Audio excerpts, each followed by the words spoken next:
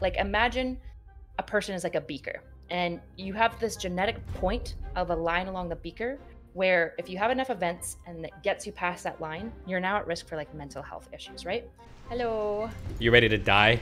Kyla, if you want to tell me something I'm, you think I'm wrong about, go for it. Come in. Okay. It's not about you being wrong. It's not about me saying. I'm not saying destiny. It sounds like you're saying X, which is wrong. It's what what's really being communicated is destiny. It sounds like you are somebody who would be saying X, right? Whereas when I'm speaking, it's like.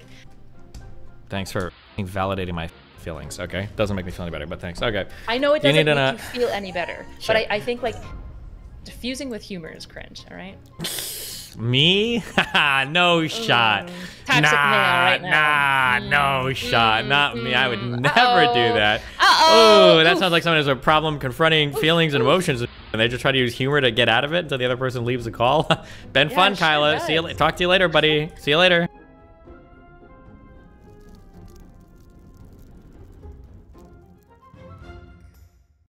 So again, and maybe I misunderstood your initial point in the conversation, and that's my bad but I felt like it's it's a much more nuanced and I felt like you were kind of hoping for a specific answer. I'm not hoping for I anything. I think that questioning it, period, triggers a lot of people because there's like an, an, expected response where it has to be universally reinforcing whatever the current, I guess, like pop view is of everything. Like one of your characterizations, what I said was insane. You said that like yeah. Destiny seems to think that a woman that dresses promiscuously likes to get not even in a billion years did I say anything even remotely similar to that? Saying no, I am saying that your argument was that if a conservative woman or a promiscuous woman gets the promiscuous woman would have a better time of it, and I said no.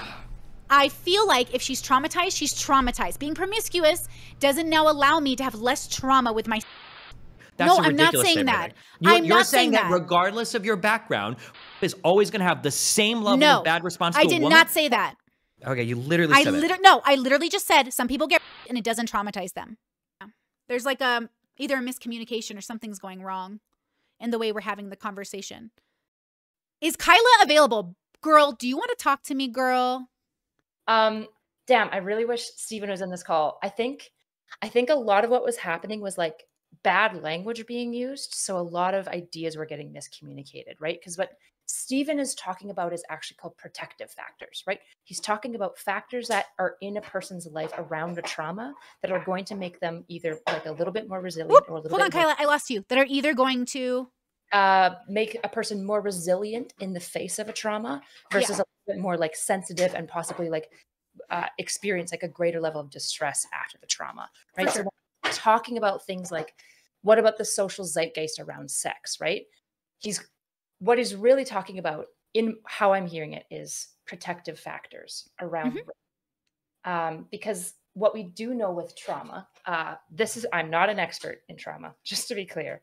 This is just from the data I have read. So I could be wrong. There's somebody who's probably more informed. Just make sure that the person that you're talking to is informed on data, mm-hmm. their opinion. So I'll, I'll caveat that heavily. But my understanding is like a large portion, when I look at things like sexual assault, right? Like when I look at my own, because I had like a childhood sexual assault, mm. I don't understand like why, because I have a lot of friends who have been assaulted as adults, especially. And the experience that we've had with our sexual assault is so different. Mm. In many ways, I think because like, so my childhood sexual assault occurred before I could remember. I was like two years old. So I have no memories of it at all. Uh, I didn't even know it had happened until I was like 21 and it like explained why I was having panic attacks around wow. men. Right. And that was really distressing obviously for me uh, when i like realized it. But when i talk to like my friends like i've had friends gone to parties and been raped and stuff like that i think there's something different that occurs when like there's the psychological elements going on right? Um and so i think the psychological elements are really hard to talk about because we always want to be careful to like not dismiss anyone's experience of trauma and yet at the same time, there are protective factors and risk factors that are going to increase or decrease the likelihood of the extent to which the trauma debilitates you uh, mm-hmm. for like ha- for how long it will and to what extent it does, right? Mm-hmm. Uh, because no one I, like no one wants to sound like they're saying rape good uh, or rape not so bad for these yeah. people. And I don't yeah. think Steven's saying that. I really don't. I wasn't hearing that. I'm hearing bad language communication and probably a little bit of like he's trying to talk exclusively about the logic while you're trying to explain like the emotional landscape. I just disagree on that premise. Conservative women I know dealt with their rapes a lot better because it was like survival of the fittest. Versus promiscuous, like that's what I'm saying. Every group has their own lived experience. Why are we assuming that promiscuous or liberated people have more tools dealing with assault? I think basically the presumption is so it's it shouldn't be conservative at all. It should be sexually repressed people, people with high levels of sexual shame. Well, that's And not very. how common is that in the world now? It, I guess in like from my background in like at least like white Christian land, super high, super Well, super high. Like do that was a mean- really big part of my friend's trauma around her rape was that she was also Christian. So she's like, so now I'm impure now and I'm like bad and dirty. Totally. Yes, I know those bubbles for sure. Yeah. Um, I want to know how prevalent they are because, like, when I because sexually liberated women are also in the modern world. We didn't exactly Yes. exist sixty years ago. Yes. So why would we have tools all of a sudden that our mothers didn't have? I, I think the key is um, there's no because I think the main tools. Here's the thing. I think part of the issue is that probably whether you have sh- shame around sex, it probably correlates. I would guess a little bit with the extent to which you have like resiliency against like a sexual trauma, but it's probably way less important than things like a social support network, right? So in the case of a lot of these conservative women, for example, if they're really ingrained into their church, while Yeah. they might have like high levels of sexual shame, they might have more importantly, really high levels of social connectedness. And therefore, like we're seeing a different effect. And so the problem is that like Mm, we're what we're talking about is multiple factors that correlate and contribute to the resiliency, like the protective factors that contribute to how somebody manages distressing events. And I suspect that like sexual shame is probably something that contributes to some degree, at least yeah, in talking with victims in my personal life. for sure. That has been really common language Mm, but i also think that like while that's probably really important and that's the thing that they're pointed to as their feeling of shame i wonder how they would feel if they didn't have me and other friends what would their Mm. language sound like if they had no one to turn to or the Yeah. people that they did turn to tried to say like what do you mean like i thought you were having fun like you just don't know what sex is right yeah. Like those type of response Oh yeah. because all Okay. of this a Mhm, lot of these protective factors and resilience factors are kind of about how much like psychological mind fucking happens after the distressing event particularly Right. Yeah. Okay, here's a question. I want to know what you think because I don't identify as somebody who ever had sex- sexual shame. Mm. Uh, people ask me about it all the time, and I just don't know how to explain what it is because I don't think I've experienced it. Um, I had sex after I left my parents' house. I was a secularist. I was an atheist when I had sex for the first time. I always consented to all my sexual partners except for the assaults. I had a really good, I've had great sexual partners. I've had all good instances of sex consensually I've ever had was great. Um, I'm very liberated with my body. I worked really hard to be comfortable in my body. So when I was assaulted, my shame came from my inability to fight back, not because I got penetrated, Mhm. right? But it did feel like they were inside my head when it was happening. Like they were taking needles to my head and giving me like a lobotomy or something. Is that the right word? A lobotomy? right but the psychological like this this is i think what steven from my understanding because him and i talked a little bit about this yesterday i didn't actually know you guys had had this conversation but when i was talking with steven my understanding is he's focusing on how does our society respond to these events and how does that impact the actual effect that the events have on you right because Mhm. depending on the way people react to the situation Did you move away from your mic early or am I hearing you less? um, let me see if I I thought I had one mic on. Maybe it's swapped to a different one. Ah, yeah, and it's using the wrong mic. That's Okay. why. Um, I'll just move back towards it. There we go. Better. yes, but it's okay. Sorry about that. Um, I got distracted. What was your question? Um, fuck. You said you were talking to Steven and he was more. I just don't like being put into the the category of like you're fighting with your emotions. When I'm like, well, from everything I've read and from my understanding of like even looking up like PTSD statistics, uh, people have different tools for different things, but pain levels are the same, but the why is different. So pain levels are the same, but the why is different. And Steven is making the argument that sexually liberated people would have less pain. But why? I, is he saying less physical pain or less emotional pain? I think emotional pain, right? I don't know. He just clarified on stream again, but like that's the problem. Is he? Why would promiscuity or like sexually liberation matter in a rape? Um, again because he's talking about the psychological effects afterwards. So I don't think he's saying in the middle of a rape, nobody's going like, "Man, this is awful, but good thing I don't think sex is a bad thing." Right? Nobody's thinking yeah. that. They're thinking, okay. "Oh my god, oh my god, oh my god, oh my god, oh my god." Or they are freezing and they're thinking nothing at all. They're just yeah. disassociating, right? Yeah. What so, like the event itself, I think is going to have a lot of trauma, particularly on your body, right? So, you're going to mm. notice hypervigilance in that person afterwards. You're going to notice things like panic attacks. This is where I suspect, like, part of my trauma, like, effects are most relevant. Like, I don't have the psychological trauma associated with it. I don't remember. And I was two, so I don't, I didn't talk to anyone about it and get like dismissed or anything like that because I was of two. I, I couldn't. And so a lot of ways, most of my trauma effects was things like vaginismus or panic attacks mm. when people mm. touched me, high levels of hypervigilance, right? Tons of tension in my body. And so I suspect like the physical event itself probably has that ramification. Mm. But a mm. lot of people are like, that really sucks, right? That for victims, that's awful. But the next really awful thing is this so because humans really like really care about belongingness. Yeah. And so when you have a community that comes around you and dismisses you or like treats it like it's shameful, or even if they don't treat mm. it, but you're in a mm. community that's already views sex as shameful.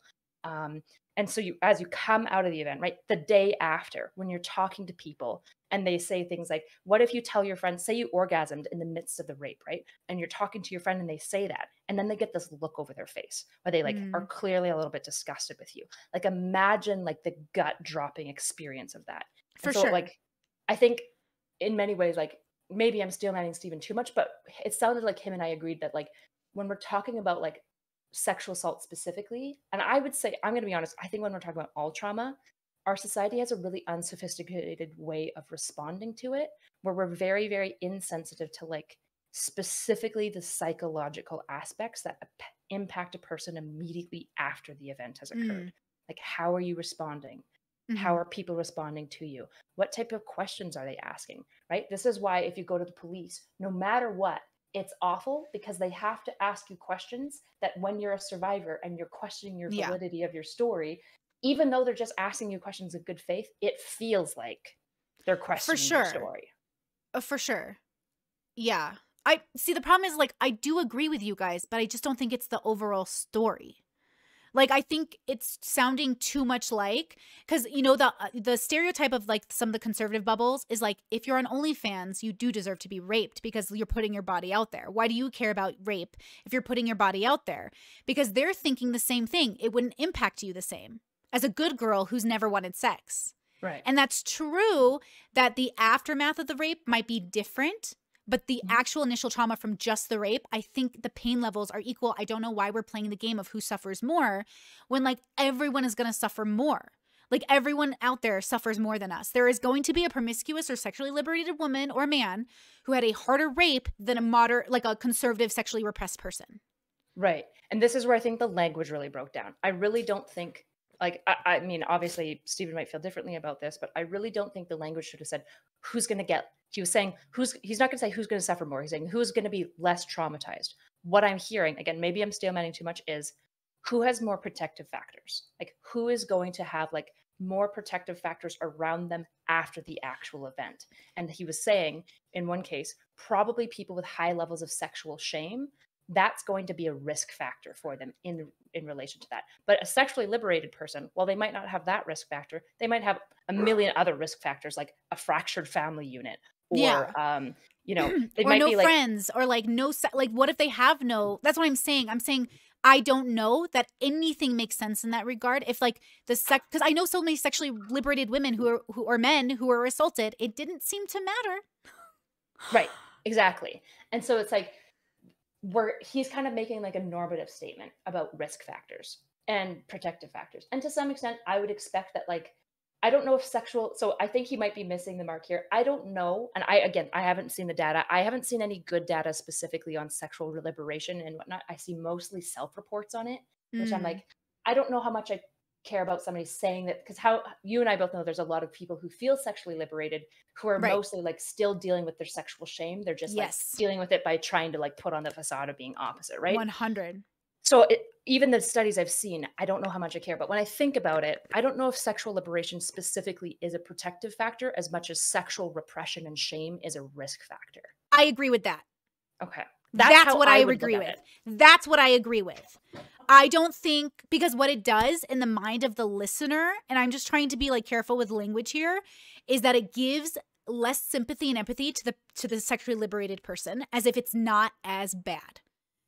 And I think that's super dangerous because not all sexually liberated people have resources or they also like maybe they're like me where they they suffer from toxic masculinity and they suffer from like um I never need help. I'm fine. Everything's fine. But mm. obviously, like I still deal with it to this day. And so it is one of those things where I just want there to be a clarification because the worry is that again, everyone's different and I want to accept everyone from where they come from. But this is the reason why I think I don't want to give I want to give him the benefit of the doubt of being a good person, which I don't have to do. I know he's a good person. Right. But good people don't always protect the people in their lives the way they could. Right. Especially, and so like I said, there's such bad Girl, did you walk all the way to Antarctica? Oh, fuck. You're so far away. You are literally on the other side of the universe. oh, man. I keep forgetting which mic. I, usually, when I have my camera on, it reminds me to stay by this mic. But Ugh. I usually use my headset mic, and I'm walking around thinking I have it. I did come back from Antarctica. I can report the penguins are happy still. Yay, I'm so glad. So yeah, of course Steven's a good person. I just right. like again, a lot of people were confused by his statements because it sounded again. So okay, that's what I always say like the why and how we come from an angle matters. So I always want to come from everyone suffers, suffering is valid, but let's talk mm-hmm. about in your personal life how to be grateful for certain things. Like maybe a sexually liberated person can be grateful for like access to support groups. Right. And then that's that's gratefulness and humility and that's beautiful. But none of that negates the pain and trauma that people endure. Right. And i i genuinely when listening to steven i don't think he was trying to say that they're not getting traumatized at all. I could be wrong. I don't want to put words in his mouth but when i was listening to it i was listening to somebody who's like probably He's, not I, super trauma informed on language specifically yeah. trying to describe risk factors and protective factors. Do you think they're less traumatized?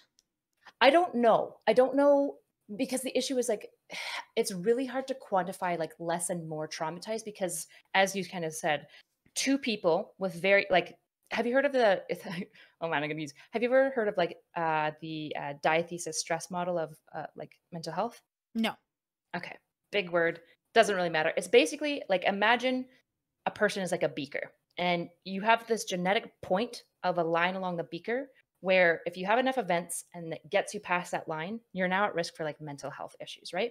And everyone's kind of set point is different. Some people have personality differences, right? Some people are very like some babies you can test like stimuli reaction. Some babies when you show like novel stimuli to, they get really excited mm-hmm. and they want to mm-hmm. touch it. Other babies just fucking scream. They hate it, right? Mm-hmm. Um I'd be I'd be interested to know like how much is that proclivity a protective factor, a risk factor for how you handle distressing events at large. But the issue when we're talking about like trauma itself as an individual, we're always having to navigate like individual experiences where an event that traumatizes Cindy, if it identically happened to Anne, Anne might be like, yeah, it wasn't a big deal. Whereas exactly. Cindy might be like, that shattered my world. Because in exactly. a lot of because this is the this is kind of like the the element of trauma that's as you said, like subjective. It's not arbitrary, which is that mm. what seems to traumatize people specifically is when they feel helpless and it shatters their expectations of the world, right? Yeah. And I think a lot of times in the cases of rape, we have, especially penetrative rape, it seemed like I could be wrong. A lot of guys that I talk to, they're like, yeah, like if I got raped on my dick, like it would suck. And I'm like, well, what if it happened to like your asshole? Mm-hmm. And they'd be mm-hmm. like, oh my God, that's awful, right? There seems to be something. Literally, that was all of Destiny's Reddit. They're like, yeah, if I was raped by a woman, no big deal. But wait, a man? Nah, I'll take the jumped. I'll get jumped instead. And that's right. the point. The point is, is that we're all having different conversations. Yes. Because when I say rape, I don't mean stealthing, even though it's sexual assault, right? So right there's like a conversation or some people consider their molestations rapes and I don't. So like we're having different conversations, but ultimately I just everyone experiences it differently and it's I don't want to play that game because again, someone is always going to suffer more than you. But of course, like I don't know, like I I just don't like. How do you explain to somebody? Like, do you relate to that idea of um, like genuinely, if somebody's like, "Would you like to be raped again, or would you like to lose your pinky finger?" What do I need a pinky finger for? I I'm not sure how much I I I don't know. I don't know what I think about that. Do you know what I'm um, saying? Like um that was the conversation we ended up all having though. And that's right. the problem is of course it's going to be different based off the people. There's not a wrong or right answer. You can't say like Brittany's crazy for not wanting to get raped again. Why? Do you have you had it? It's awful. Like for me, something I've never had before would be less traumatizing than something I know is traumatizing. Right. And see how I'm choosing my consent is being considered so I can choose violence over rape. Right. So I don't right. know if people are understanding when we're having these conversations. Of course it's going to be subjective. If if people want to get raped versus beat up, great. But that doesn't mean that one person is bad or good. It's just like there was a lot of um that's insane, that's crazy, this is damaged people. But the thing is, is like if you've never been raped, of course it doesn't sound that bad if you think it's just like some hot woman is going to take advantage of you in a locker room. Right.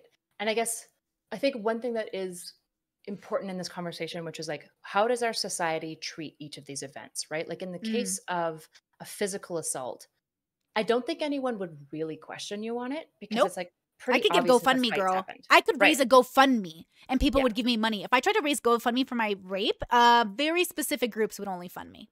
Right. And so then it's like, okay, like I think one part that's interesting in this is like, if why are we picking one over the other? And I think like something that's probably missing in this conversation is like, because like being socially rejected and experiencing like that level of like psychological mind fucking mm. afterwards mm. is really really really distressing um like a lot and this is why a lot of people who have been who've experienced both like when you talk to people who've experienced physical and sexual abuse a lot of them are like i would take being physically abused every single time um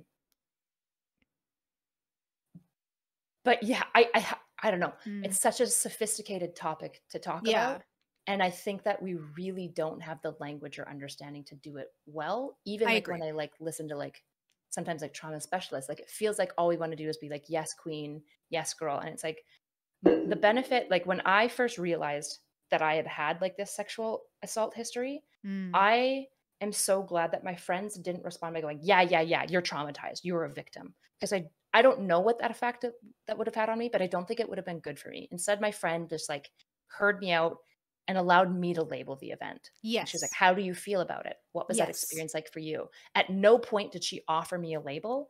And I think in a large part, like when I think about like, because I was like 21 when this happened, and uh, it was like in a pretty distressing event. And then I went to a gynecologist, and there was like some scarring and like severe, severe vaginismus. And I was like, oh, okay, like all the pieces kind of came together slowly.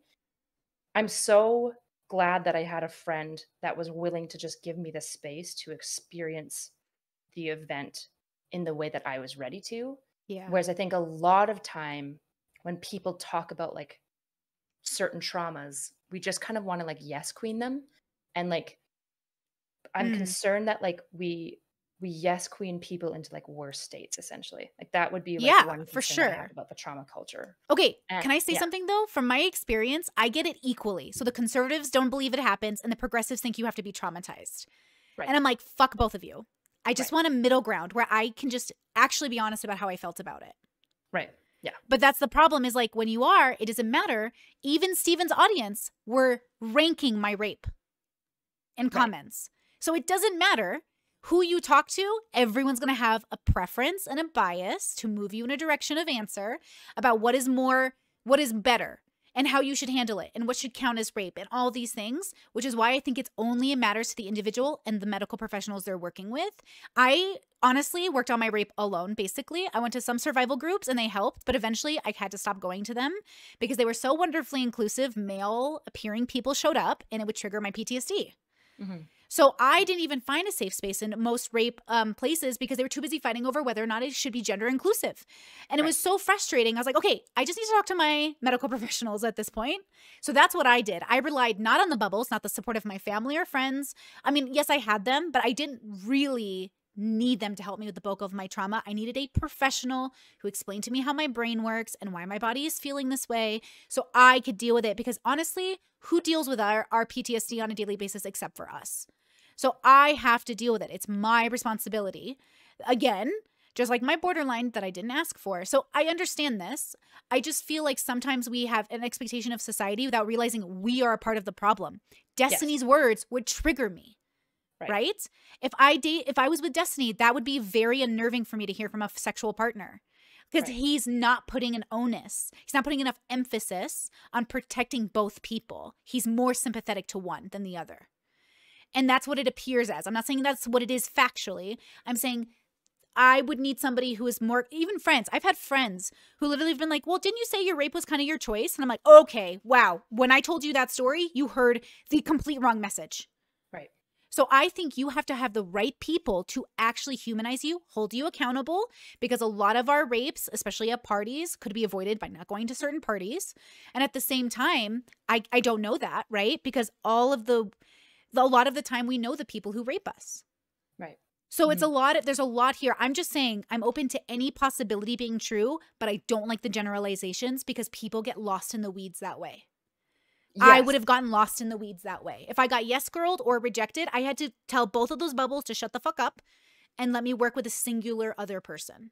Yeah. So then I guess my question would be is how do we as a society because as a society we don't really have the capacity for this high resolution like um, nuance, right? Like I would say we don't take normative claims about like protective and risk factors and apply them to an individual, right? We talk to the individual and let them ex- explore it themselves, right?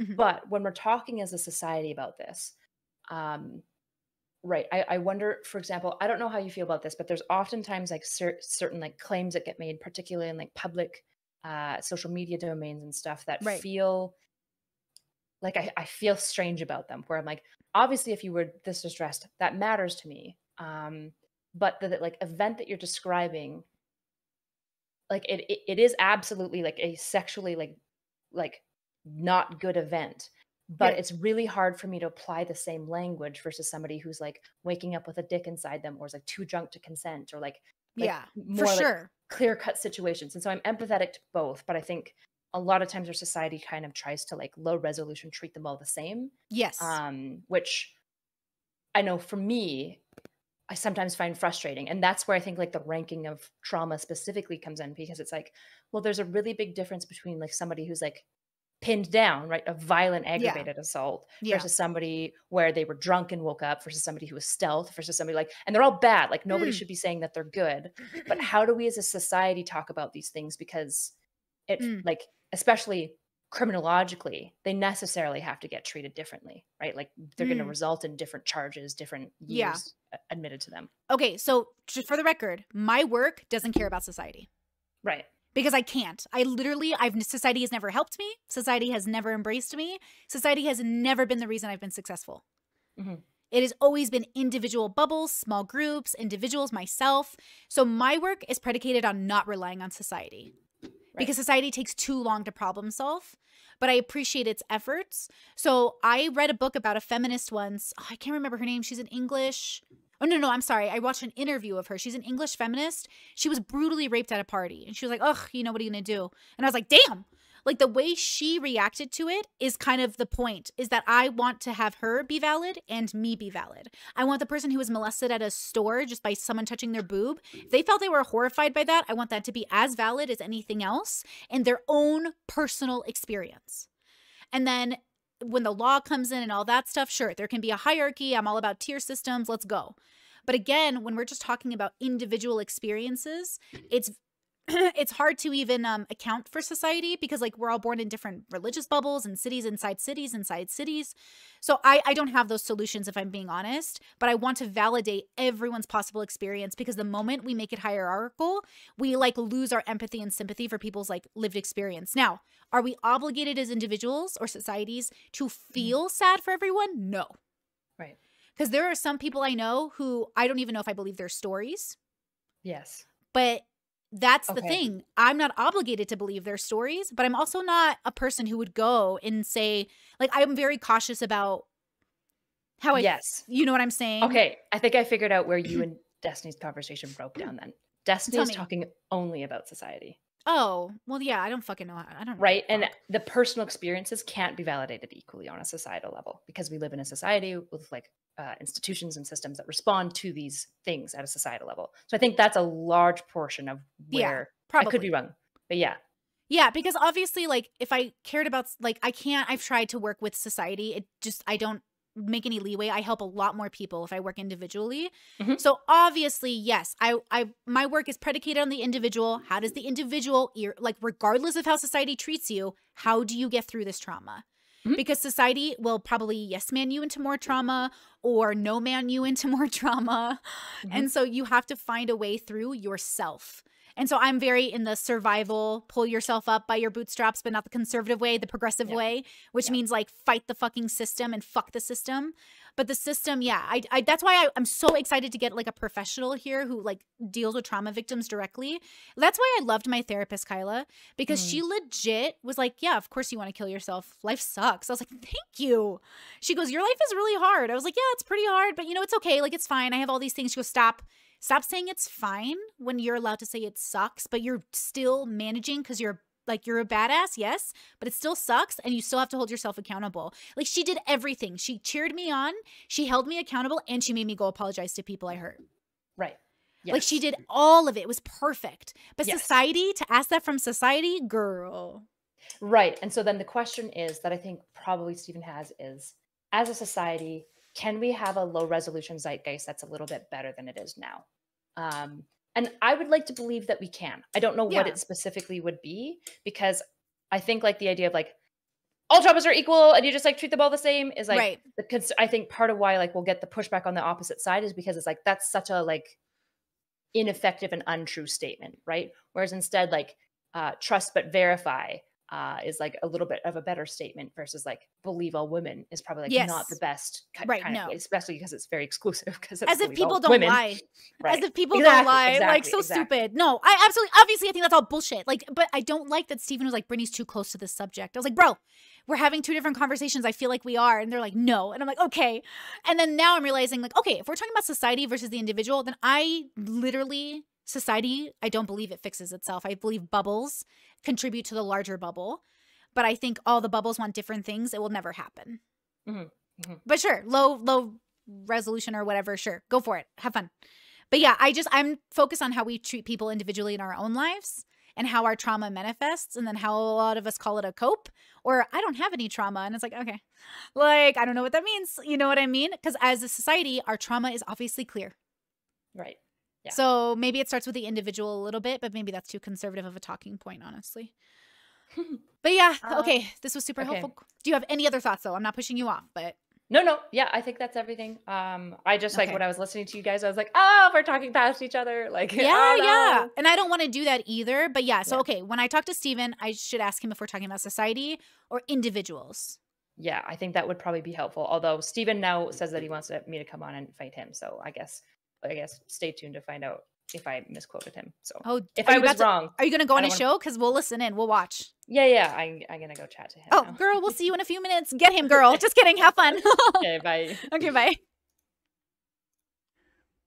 Um, I just like Okay. when I was listening to you guys, I was like, oh, we're talking past each other, like, Yeah, oh, no. yeah. And I don't want to do that either. But yeah, so Yeah. okay, when I talk to Steven, I should ask him if we're talking about society or individuals.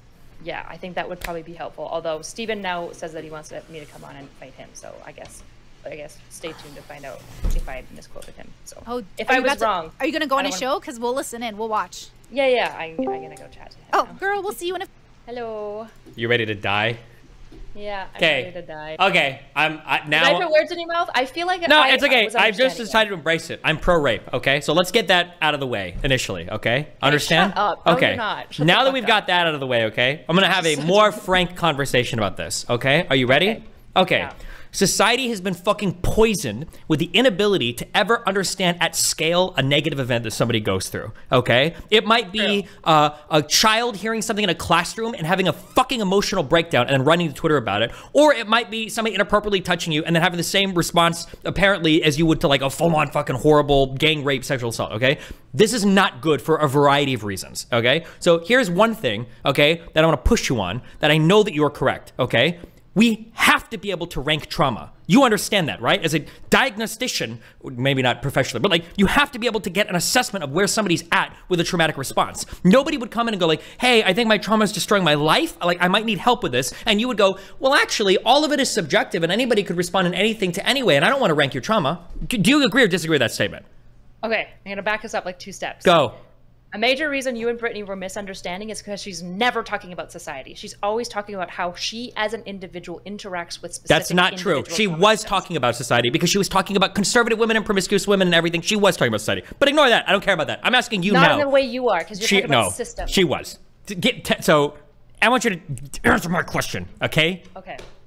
So the question Being is, able to rank and understand the badness of somebody's trauma is pretty fucking Yes. important from a yes, correct? and she, yes, she Okay. agreed with me by the Uh, end. yeah, The she agreed that- with you. I know. And you said every single fucking thing I said. But I don't care about that now, okay? Now I'm just fighting you. Okay. I'm just what do you sure think was the difference? What do you think was the difference? The difference is that I'm a man. And in her mind, all I'm saying over and over again is you deserve to be raped and your response is your fault and you should have done something better about it. Because having these kinds of conversations are impossible. The only thing people want to hear is your experience was the worst thing that could ever happen in the world. And all experiences like this are the worst thing that can ever happen in the world. And any other type of experience, we can't even think of saying that one was better or worse than the other. I can't even rank them. It's blah, blah, blah. A bunch of silliness, but I understand it. But it's like a personal engagement with it where it's like, this really bothers me. And it sounds like you're just like blaming me on everything. That's what that's what the conversations are. If it's anything besides relentless affirmation, that's what it feels like. And I heard her say things in that, like, I want these two different types of traumas to be valid. Of course, every type of trauma can be valid. I've never said anything otherwise. But when I hear statements like that, what I'm hearing is somebody just looking for like affirmation. And the thing that especially bothers me about this is if I was having a personal conversation with somebody and they felt like I wasn't hearing or seeing them, that is totally fine if they feel like I'm being insensitive. But people are jumping into this conversation that I'm already having on stream. I'm already having a conversation about like, is it hierarchical? What's causing people to have traumatic responses? And she was one of the people that jumped in and wanted to talk about it. To jump in and say, well, I felt like it wasn't being sensitive to me. It's like, you entered this conversation that I was having. I'm not here to cater to your personal feelings about it. You wanted to be a part of the conversation that I was already having. If you wanted to dictate or change the terms of that conversation or say, hey, I've got a personal experience with this. Could you like be a little bit sensitive to something? That's totally fine. I can understand that. But you can't jump into my conversation and then start demanding that I make a whole bunch of like, I need to cater to you and this and this and this and this. Otherwise, I'm being like an insensitive or hateful person. I don't think that's fair. I think that's I think that's wrong.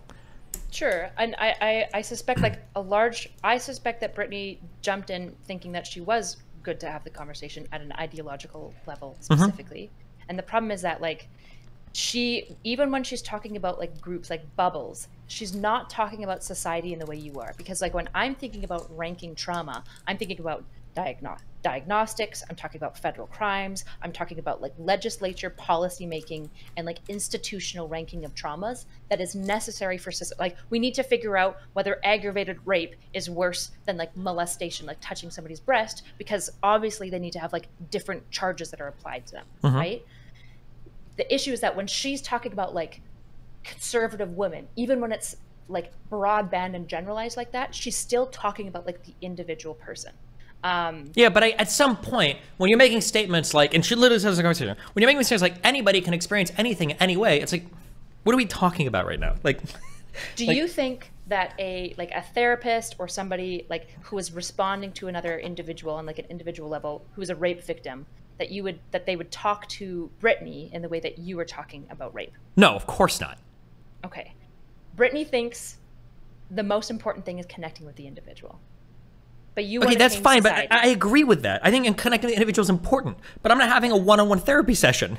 I'm, I'm having a broader conversation about like, like what what are protective factors for people in, in, in coming out of like adverse sexual scenarios or rapes without being as like negatively impacted? Like, are there protective factors? Are there risk factors? That's an interesting question to me, and I don't think we. It's very, very, very hard to explore it, and it's very hard to know what the answer is. But it's but, but that type of question is very interesting to me, and it was relevant to another video I think they were watching, whatever. So that's what the conversation was. It wasn't like what is the most sensitive way that I can approach your particular assault and have that conversation with you. That's like a it's a totally separate, almost unrelated conversation. Sure, I, I agree. The issue is that like that was an unvoiced negotiation that probably need to be stated, and I would agree that probably Brittany needed to spearhead it when she was like noticing these things. I think that that's all super fair.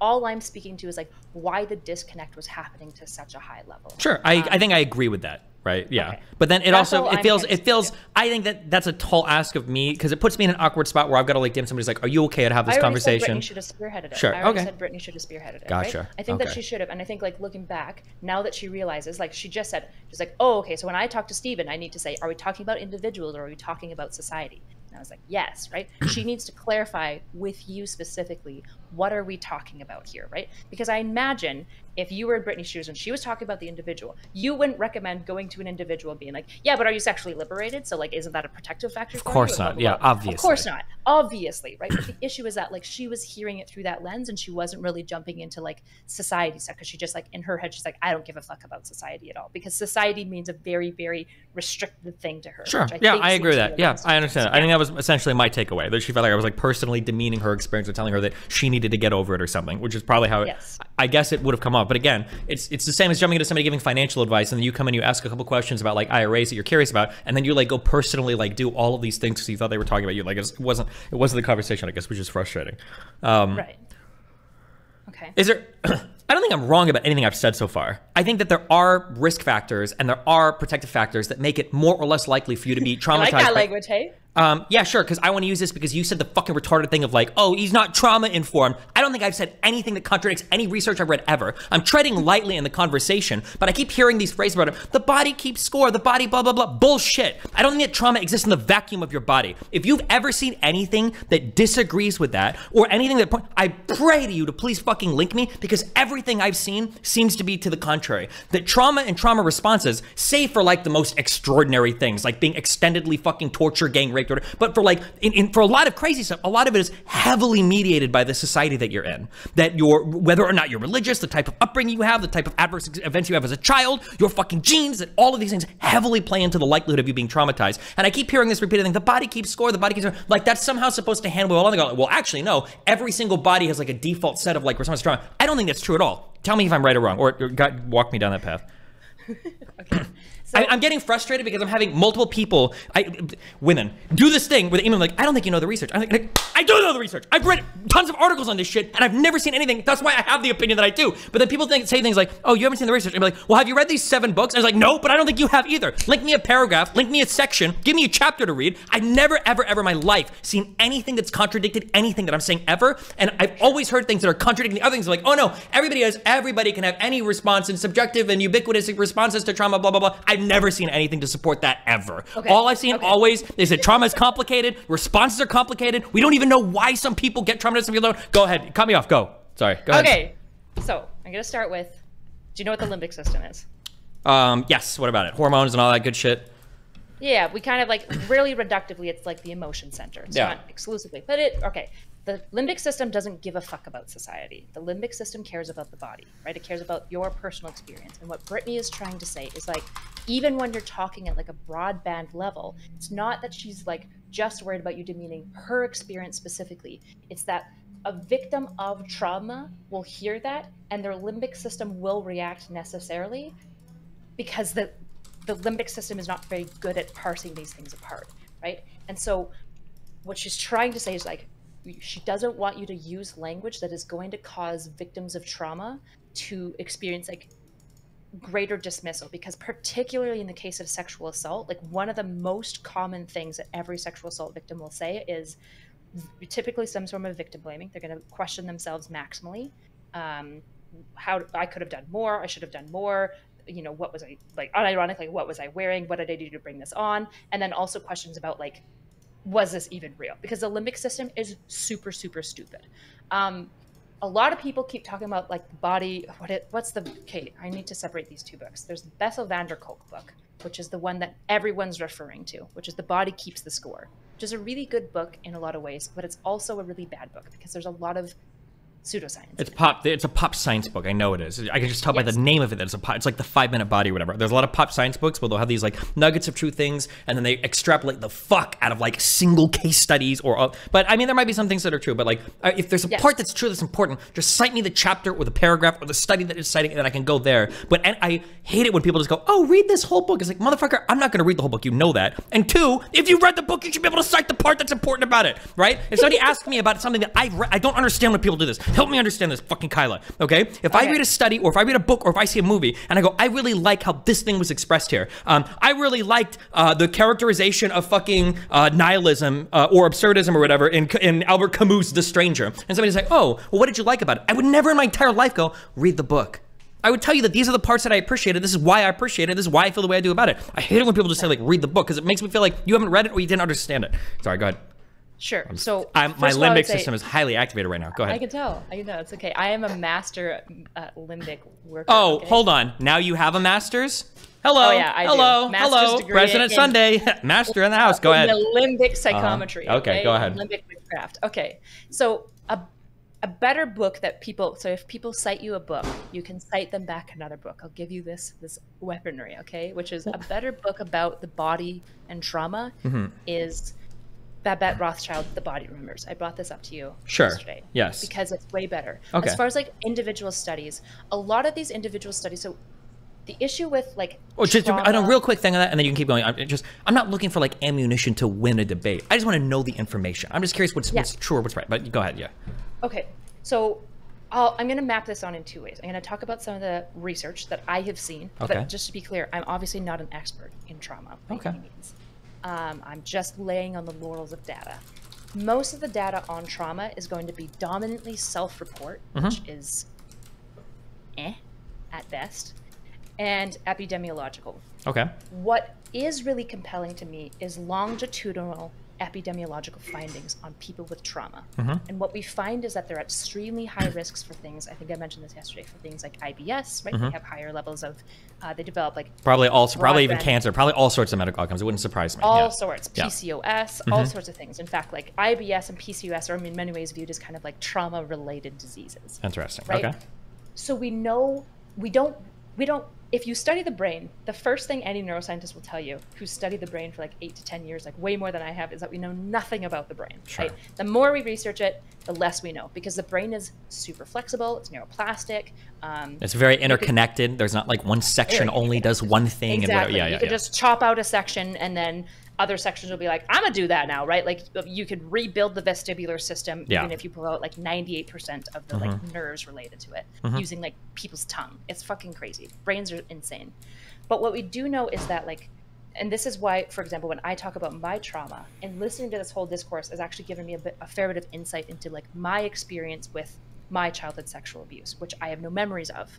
I just had body reactions. I have IBS, right? I'm prone to chronic illness. I'm extremely hypervigilant. My, my- my, muscles are fucking tight all the time. So I'm very prone to sprains and injuries as well. Um, and I had like panic attacks when people touched me, even though I had no memory of this, right?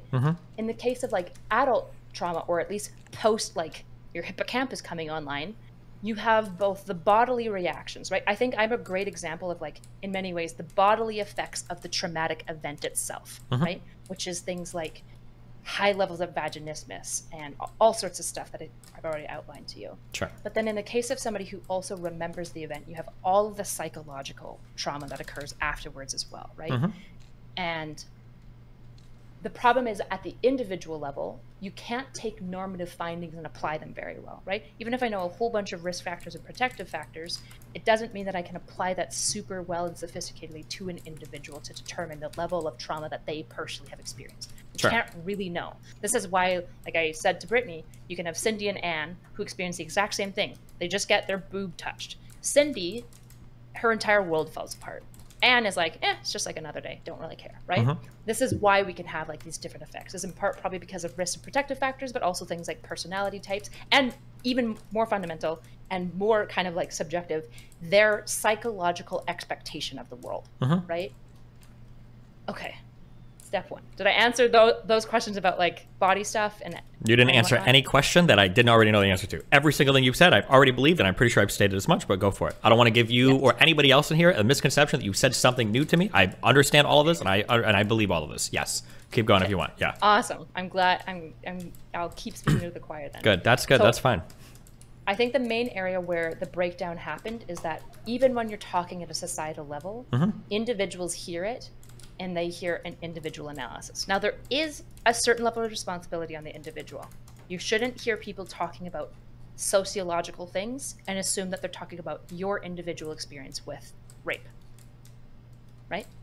Yeah. Okay. The issue is that, in my mind, the aesthetic matters too, right? So when you're talking at a sociological level, you want to make sure that the aesthetic that you're coming across with to everyone is an aesthetic that communicates things like I am in no way trying to say that your personal individual trauma is one way or the other because you can't comment on it. You don't know. Sure. I think in a lot of ways what was occurring between you and Brittany is both the she's not talking about society, she's talking about individuals and she's concerned about you demeaning the individuals in the way that you're talking.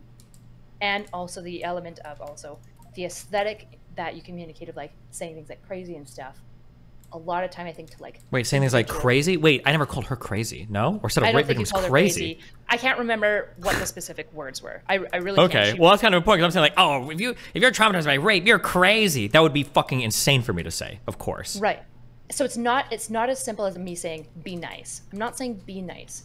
What I'm saying is I think in the cases of trauma, you get into really dicey areas unless you're really precise about language, which is why when I said a lot of the same viewpoints that you have to Brittany, her and her audience could receive it, probably in part because I'm a woman with sexual assault history specifically. That already puts me on easier grounds because it immediately communicates an aesthetic to the audience of, I understand you implicitly, right? Nobody's going to tell me that somebody who had like a sexual assault under two doesn't to some extent understand it, right? So I, I have that aesthetic already working for me. And then I was extremely precise in my language about using words like risk factors and protective factors, which, in fairness, you just didn't have that language ammo, or at least you didn't use it at the time. Um, you were trying to communicate in that direction. And I would agree, there should be a greater margin of error extended to you as well because like these topics are spicy. Almost also, be clear when you're saying when you say greater margin of error, you mean my me going above and beyond to protect another person that stumbled into a conversation that they didn't give adequate notice ahead of time was going to be triggering for them. This is what you mean when you say take greater care, right? No, when I'm saying extending, when I'm saying people need to extend you a greater margin of error, I'm oh. saying like just because you use imprecise language. Like well, sure, but I don't even think I'm, I don't think I'm, I don't think I said anything imprecisely. I think I just, I didn't, I wasn't talking like it was a therapy session. Sure. No, you gotta either agree or disagree with that. If you feel like I said something that was imprecise or incorrect, then say like, oh, like you said this, it was wrong, or you said this and it's just not true. Do you think that I spoke like it was a therapy session? Yes. How so specifically? Uh, because you were trying to take into account their personal history, something you were trying to relate to them on an empathetic level. You were trying to make sure that their feelings were validated. You were trying to make sure that they felt like they weren't being attacked. That was your goal in that, which feels like a therapy session. Hi. Uh, hey. Hi, Brittany. I just want to say for the record, I did not expect you in any way to treat me like anyone but a commenter and a content creator on your stream. Okay, but you came into the to a conversation that was pretty heated, and now you like are saying it's like, oh, like he's dog whistling like conservative things about rapes. If you feel rape victims feel blamed. No, and it's like, I'm saying just for the record, in case mm-hmm. you don't know, that's that's how it sounds, and now you are agreeing that the way you said things like I don't know if you agree, but like I'm just letting you know how they were heard. I don't need you to change the way you speak. Like you okay. can do exactly the way you're doing it. Sure. You were fine to me on that stream. I didn't feel in any way like you were rude to me on that stream. Okay, hold on. I, wait, wait, wait. Mm-hmm. Hold on. I just want to go back to completely yeah. disagree with what you just said. That I agree now that I don't agree that I said or did anything wrong at all. Okay, I no, don't agree. I'm not saying okay. you. No, no, you didn't do anything wrong. This is not an ethics question. I didn't think you ethically did anything wrong, but I did. I do think you're wrong to assume like sexually liberated women and conservative women, unless you're having a different discussion that I'm having, which is more individual. How do we impact our culture and our bubble, not like laws? Because I don't know anything about laws, right? I'm just talking about like how do you go about your day doing X, Y, and Z after X, Y, and Z happens. And the way you were talking about it made it sound like they should get over it. And I was like, oh, that's interesting. I just, and take I from him. totally disagree. I completely disagree. Which is why disagree. I came on to talk to you about it. But then you okay. came on my stream and then you did say that you have a perspective, which is your right and your opinion, that you believe that X group experiences less trauma than X group. Yes. Okay, so that doesn't eh, that doesn't hold on there that is a non sequitur to somebody ought to get over it. People can experience more or less trauma for a huge variety of reasons. Somebody might hear a, a, a, TV turn on as a childhood, like before they get beaten every day, and now when they hear a TV turn on, they get freaked the fuck out and they expect like there's like a Pavlovian reaction. That, that yeah, doesn't mean they sure. deserve to get over it. They have to. That's you're extrapolating that based on things that other people have said. I've never leaned into that ever, and I've spoken plenty of times in the exact opposite. For sure. I just the reason I said that, and again, I'm happy to like reword myself. But you said, and I correct me if I'm wrong. Why can't a girl just go to a party and like get assaulted and the next day be like, oh shoot, like I guess he got one up on me? Like you said that you're. In, it's interesting that they can't just move past it. Why do you think that is? Right? Is that kind of the example you gave? Am I wrong? It's it kind of is, but you're reading into it so incorrectly. When well, then when, that's what when i when I say why can't somebody do this, you're phrasing it as like why don't you just do this? My question is generally why can't somebody do that? Because it yeah. seems like they can't. But when when I ask that question, implied in that question is that you can't do it. Whereas you're reading it in the slang sense of like, why don't you just get over that? When I'm asking, why can't somebody get over that? It's an, and it's an interesting question because there sure. are some things that we get over pretty well. Some things that maybe even traumatizing, but it seems we get over, and there are other things we don't get over really well. And I'm just curious why we don't get over some things. But you're hearing it as an attack when I don't think I've ever given any indication that I'm attacking rape victims or expecting them to get over it. No, I totally. I'm just letting you know that again, because even my chat's like, but that's what he said. He's literally saying it right now. So again, we can hear your perspective, but I need you to understand that it's it takes a lot of work to make sure that you don't mean the different tone. And so that's why I called to check in. And then I was like, okay. But I, I again, you can do you. I'm just letting you know as from the experiences I've had, and again, anecdotally speaking, it I can't trust what you're saying because now I don't have any evidence that you would also like I don't have enough evidence to counter that thought as a possible like I, obviously you're a good person, bro. I don't think you're not a good person. I don't think you're going to rape anyone, obviously, bro. Like I've been in your house. I would never think that. But that doesn't mean that the way you're communicating couldn't be improved upon to clarify your position without you like getting like you're yelling right now. I'm yelling I'm right who... now because I think I was incredibly clear. Kyla just repeated everything back to you verbatim that I said yesterday, and you agreed with all of it and pretended like it was substantively different than what I've said. And because now well... people have this impression, it was almost verbatim some of the things she was saying. With like she said that yes queen comment, and I think when I gave that exact thing, I think you pushed back hard against it, and you bought what she said 100%. It was the exact same thing that I said. That sometimes people can reinforce your trauma by yes queening you too hard, and it's probably not a good thing. When she said it, you agreed 100%, and you totally fought against me when I said it. And then you started repeating a lot of the things that I said, that, that the ways that people are raised in society and the way that people are told about things can influence how they are perceiving trauma or the trauma response they have. Sorry, go ahead. I think, could I suggest that I think there's kind of two things that are occurring that keep causing like the, the missing of each other. I could be wrong. And if you want me to shut up, I'll just step out instead. Talk, girl, talk.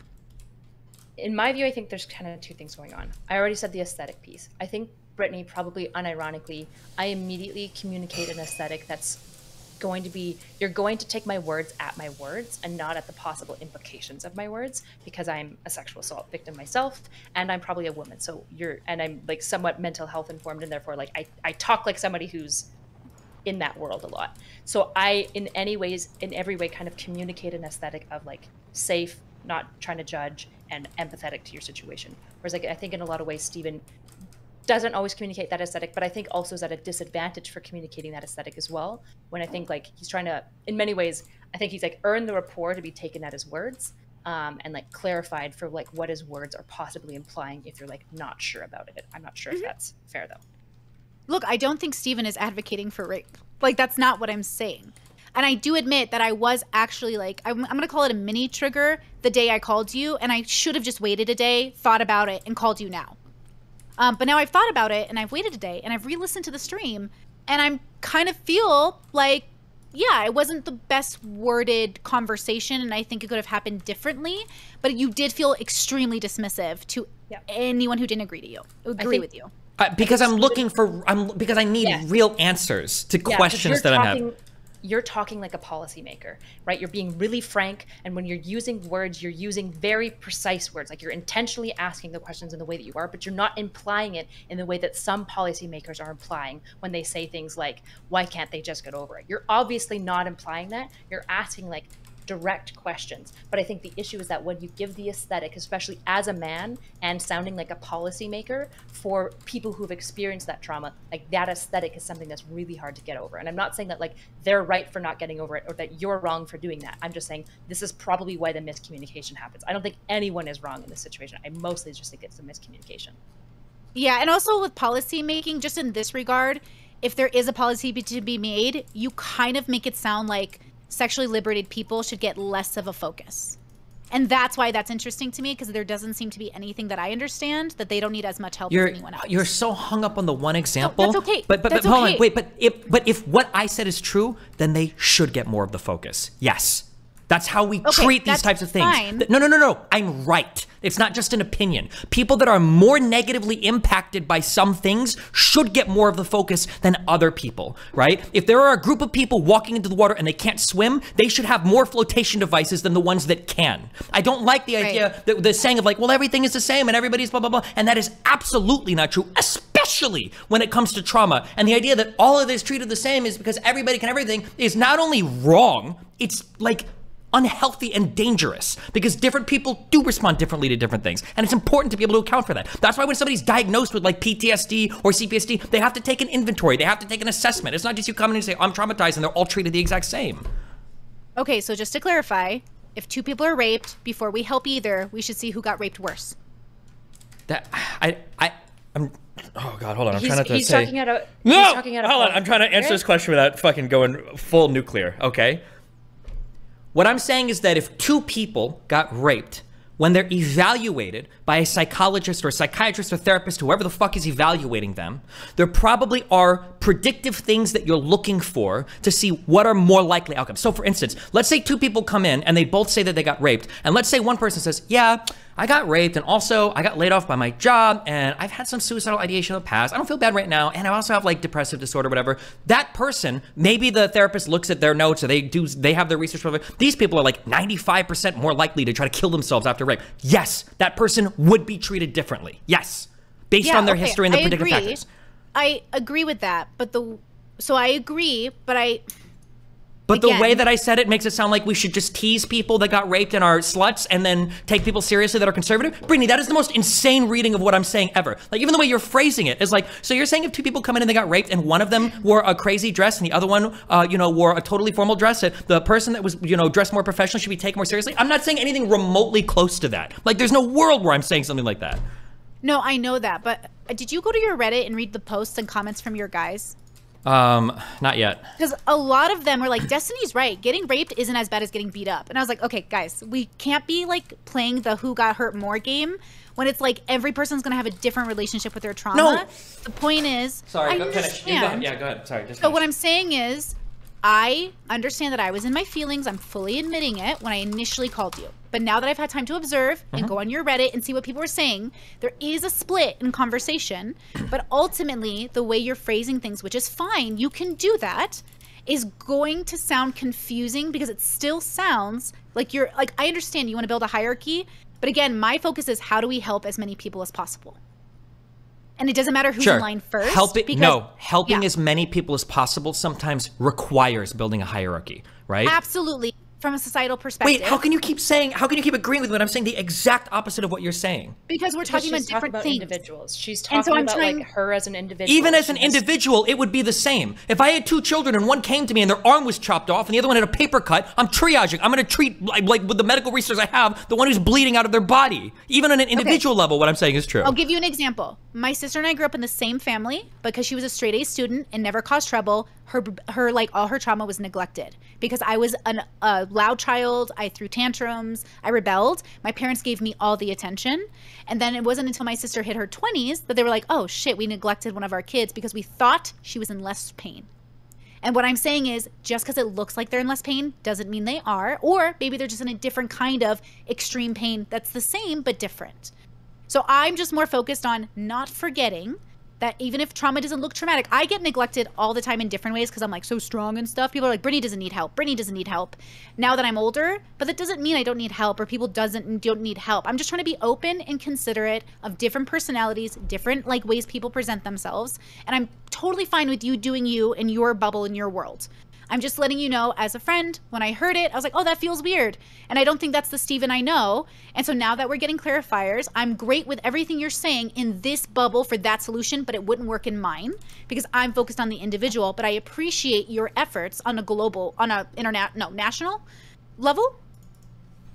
Is that okay? Like, I'm okay with your thoughts as long as you understand that, like, it just wouldn't work for all people, just the people you're kind of focusing on. Sure, I just totally disagree. I think it would work for all people. I don't think you've said a single thing that contradicts anything I've said whatsoever. I don't know why It's you think about- that. I don't think that some people can't have hidden statements. trauma or that some people can't. I'm not saying we should ignore some people. Um, I think everything I'm saying applies on a, on a personal and on a societal level. Kyla, if you want to tell me something I'm, you think I'm wrong about, go for it. Come in. Okay. It's not about you being wrong. It's not about me saying. I'm not saying destiny. It sounds like you're saying X, which is wrong. It's what what's really being communicated is destiny. It sounds like you are somebody who would be saying X, right? Whereas when I'm speaking, it's like.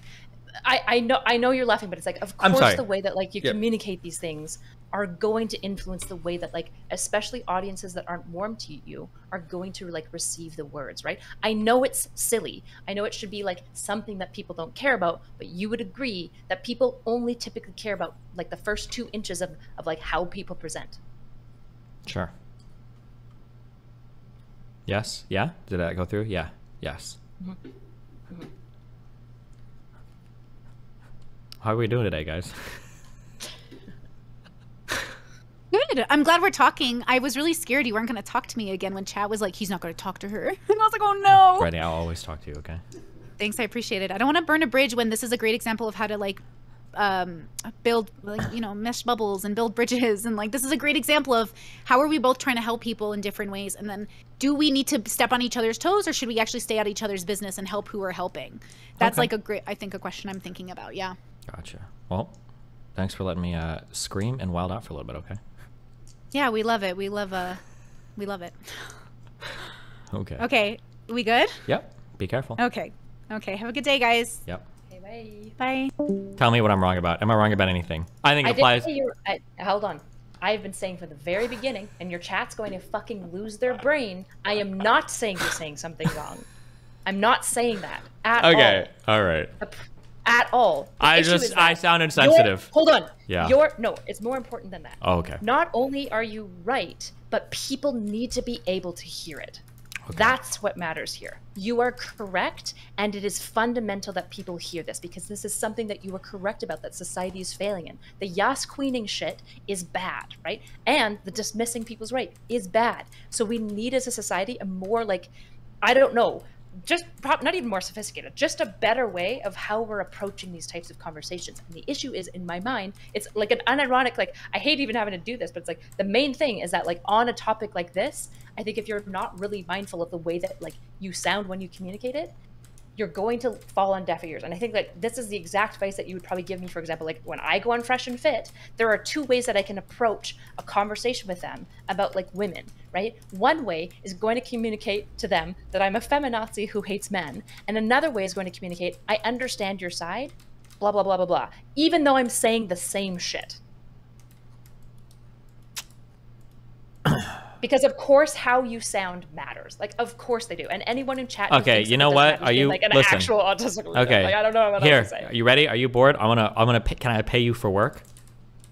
Uh, possibly. Okay, I will pay yes you until I know. verbal contract. I'll give you a hundred dollars. Okay, if you want to go through like twenty or thirty minutes of my video with Brittany, and can you tell me where I say something where it's like, oh, Steven, when you said this, it kind of sounds like you want women to get raped and you're blaming them for it. I want, can you, I want you to, can you do that for I'm me? never- I just I'm want you never to, going to I just want to hear, I just want to hear a part where I'm like, you should have phrased this better, or you should have, okay, I'm being hyperbolic. But like one part where like, when you say something like this, it comes off like this. I'm just super curious because it, because the, my perception of it,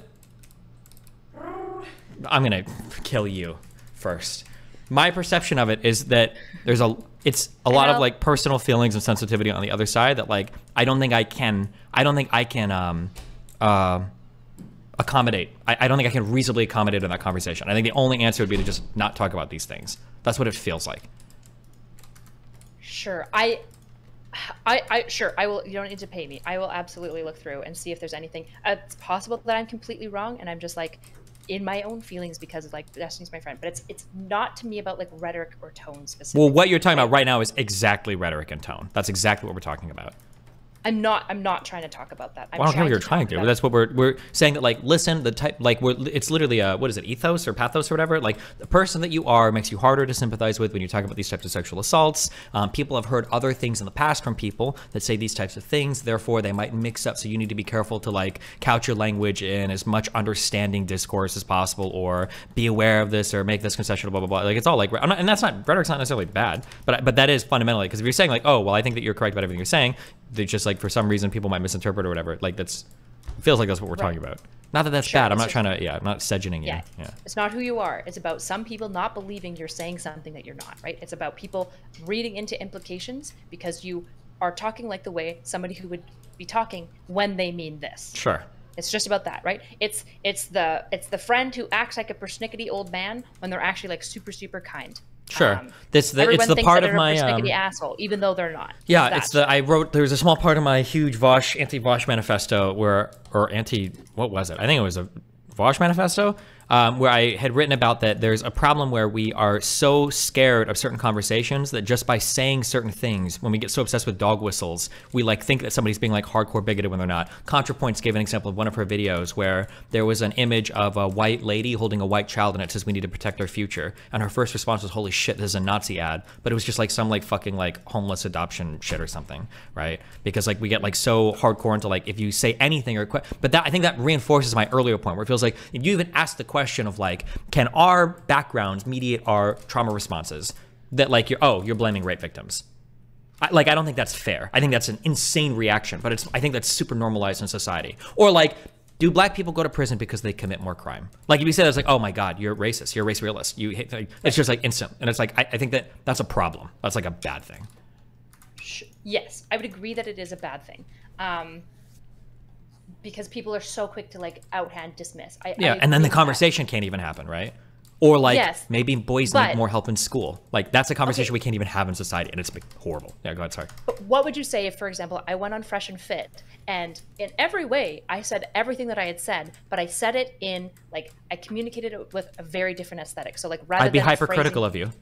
Yeah. Why? because you're entering another domain where the expected behavior is going to be far different.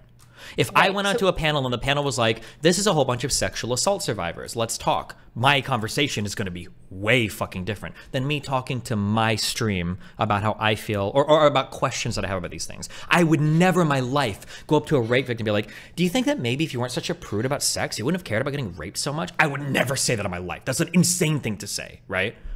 Right. But if you were talking on your stream about something, I wouldn't be like, Kyla, when you say these things, uh, people like Fresh and Fit, they're gonna think that you're being totally fucking crazy. Because I imagine you say, okay, yeah, well, when I'm on Fresh and Fit, I would act in a different way. But this is just me talking to my audience on my stream. Sorry, go ahead. Right. The issue is that like when we're talking about tone and rhetoric, it feels like an acute issue. I'm not really talking about an acute issue. I'm talking about like a chronic issue, like the whole general energy of like pick me, right? Mm-hmm. If I have a chronic aesthetic, so not acutely. So let's imagine I go into a feminist panel and I use all the right rhetoric and tone and everything. But when they go to my channel, they see constant shit that's very pick me energy, right? I have a chronic aesthetic now where even even when I'm communicating in a different way, even if I'm using better tone and rhetoric and entering the domain, they're going to hear something different, right? I understand what you're saying. I- asked a question of you last night when we were playing, I think, um, or when I was playing, sorry.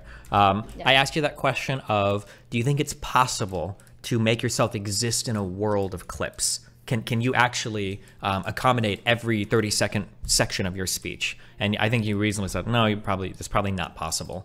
I don't think I can present um, chronically I don't think I can present a character that will survive acutely every single situation I'm in. I think that the reality is is there are going to be some hats that I wear where some people are going to see me and they're going to go this motherfucker is insane. I saw Destin, he was the kindest, nicest person ever when he was talking about black women. And now here he is on a progressive panel saying maybe we can't blame slavery for every single problem of the black community. I thought this guy loved black people. And now he sounds like a fucking conservative. That's just the reality of uh, uh, of existing on all the different platforms. But I think that's going to be true of every human being ever. It's just more out front when we're humans, right? The way that you would act with a boyfriend or girlfriend is going to be way different than how you'd act in church or how you'd act in front of their parents or how you'd act in front of teachers or how you'd act in front of your children, right? Mm-hmm. Like if my child had access to me 20 well, I guess I'm not a good example because I'm a streamer, so they do. But like imagine if your child had access to you 24/7. There would be a lot of stuff that you would it would have a really hard time like, well, listen, like that's where all the like, well, sometimes when adults are doing this, like it's different or sometimes adults don't mean the things they say, but like it's impossible to exist in a chronic manner where every where it would survive every single acute interaction in my opinion. Sure. Yeah. Are you hearing me say that I'm saying that you're doing something wrong or that you need to change something? Yes. Are oh, you okay, not saying that? That is not. That's oh, not you're just I'm telling saying. me what's happening. I'm telling you what is happening. You can, like, I'm just telling you what is happening. This is why people are coming away with this. Generally, you're chronic, like aesthetic, right? People don't think, for example, that you're a guy who flies out 20 girls every week and fucks them and like flies them home and ignores them for the rest of the week because you don't give you don't give that vibe to people. Even though you're rich, you're young, you're famous, you're charismatic, you're decently handsome, right? You just don't communicate that to anyone. No one would really think about that. I'm really not here trying to say you need to change how you appear. It's just all I'm saying is in the conversation, for example, with Brittany, I get that she was coming into your space, but in a conversation where you've people are already wondering about like how much of an asshole, how you're cold about things, then you're talking to a rape victim and you're asking questions that communicate an aesthetic that some people are not going to like be able to hear what you're actually saying and some people won't buy it in that situation, if you wanted to counter that happening, you could juxtapose your current conversation against your general appearance. So in the general appearance, you appear cold, kind of like chill. Um, you ask questions, but like you're like oftentimes sometimes communicate like a disinterest, and you're just like you kind of like suss through things in a very like kind of like logical way, more exclusively, right? If that's like the general aesthetic that people have of you, if you're talking to a rape victim and you wanted to appear like somebody who wasn't saying X or Y or appearing in some sort of way, you could juxtapose it. You don't have to. I don't I don't care either way. I have heard what you said and I'm not judging you necessarily on your words, but I am saying that this is what's happening. Sure. I like I kind of understand what you're saying. Um I I I, I think because aesthetics is function like it's not aesthetics over function. It's not like anything. Like yeah, I, this is. And, this I'm is, not telling this you is okay. I'll be selfish now, right now, okay? Because this plays into our conversation last night. I think I need sure. to make the ask. I, I think the thing is, I would have a higher expectation of a friend. I guess that would be my thing. If I heard okay. Brittany saying something that sounded fucking wild, um, I would never go in and be like, "Oh, Brittany, it sounds like you fucking hate men," right? So like yesterday, I could have said, um, "Brittany, I think you actually fucking hate men. The way that you played up the fight that your brother got and you think it's cool that guys get jumped. Like, you don't see that men are the victims of violent crime like 10 times more than women. You don't see that men are, are getting locked in prison. Like, I could have gone down that road, but I don't think Brittany thinks that, right? But she did say exactly the type of thing a woman romanticizing male violence that, like, would play perfectly into that, like, misandrist narrative. But I don't think Brittany's that kind of person. I would never, I would never gonna assume. If I really thought that, I might, like, shoot her a message, be like, you don't actually think that, like, getting into fights is like the cool thing about being a guy or whatever, right? Like, but I, I don't think she does. I think that was just the way she was the story. So I guess I would just, I feel like if somebody comes on, especially a friend, and is like, I think you sound like a conservative that is just telling women to get over rape, and it's like, what? That's just, it's just like such an unbelievable um, feeling of me.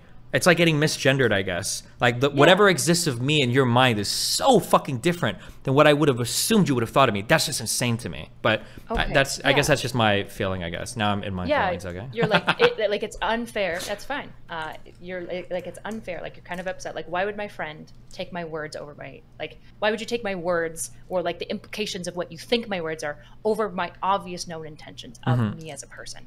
I think that that's super fair. Thanks for fucking validating my fucking feelings. Okay, doesn't make me feel any better, but thanks. Okay. I know it doesn't make you feel any better, sure. but I, I, think like this is a different conversation, and I think mm. that this is actually a really valuable conversation, right? Because I don't, I don't. If you're like, if we go back to the aesthetic one, if you're just saying, well, I can't do anything about the aesthetic, that's just is what it is, and I don't really care, that's fine, right? But the second conversation is, I don't really like that my friend would assume something so like, like nasty of me when she should know better because she knows me. Mm-hmm. I think that that's a really important conversation. And in fact, like this is ex- like this is an expressly important conversation. Like Nick and I have had this exact conversation in the past where like he was like I wish you could just like not just hear like my words and the possible implications of what it could sound like, mm-hmm. but that you would like take my words into context of who you know me to be. I think that's a very important conversation to have with somebody. Okay. Anything else? I are you are you gonna make the ask? probably not. Maybe I will. I don't know. We'll see. Well, it's public now, so I mean, she's probably aware that the asks exist. Yeah, maybe. Uh, maybe. I think it's probably just around this one topic. I don't think it'll come up again, but. I mean, I think it's really fair to say, please stop treating me like a misogynistic asshole who would dismiss question, dismiss women and question rape victims. I think that that's a pretty fair ask and a good ask to make of your friends. True. Okay, I'll draft that up tonight. I'll see. I feel sending it over. Okay. what? What's going on? I'll just yeah. I just need to yeah. I need to do that. Yeah. Fulcrum. Say hi to Fulcrum. He's in YouTube chat. Hi, Fulcrum. Thank you. Fulcrum? Fulcrum? He's the guy that sends us all to Yodi Land, we all go and talk about sexual assault, I guess. Okay. Uh, okay. Um, anything else, Chief? What's the What's the resistance? Are you gonna Are you gonna ask? I mean, I don't have to. I'm just curious about the like. Now that we've gotten to this point, it seems like you're like, oh fuck, like it's like annoying or like you're not that interested, and I'm curious. It just feels cringe. Cringe? Yeah. How so?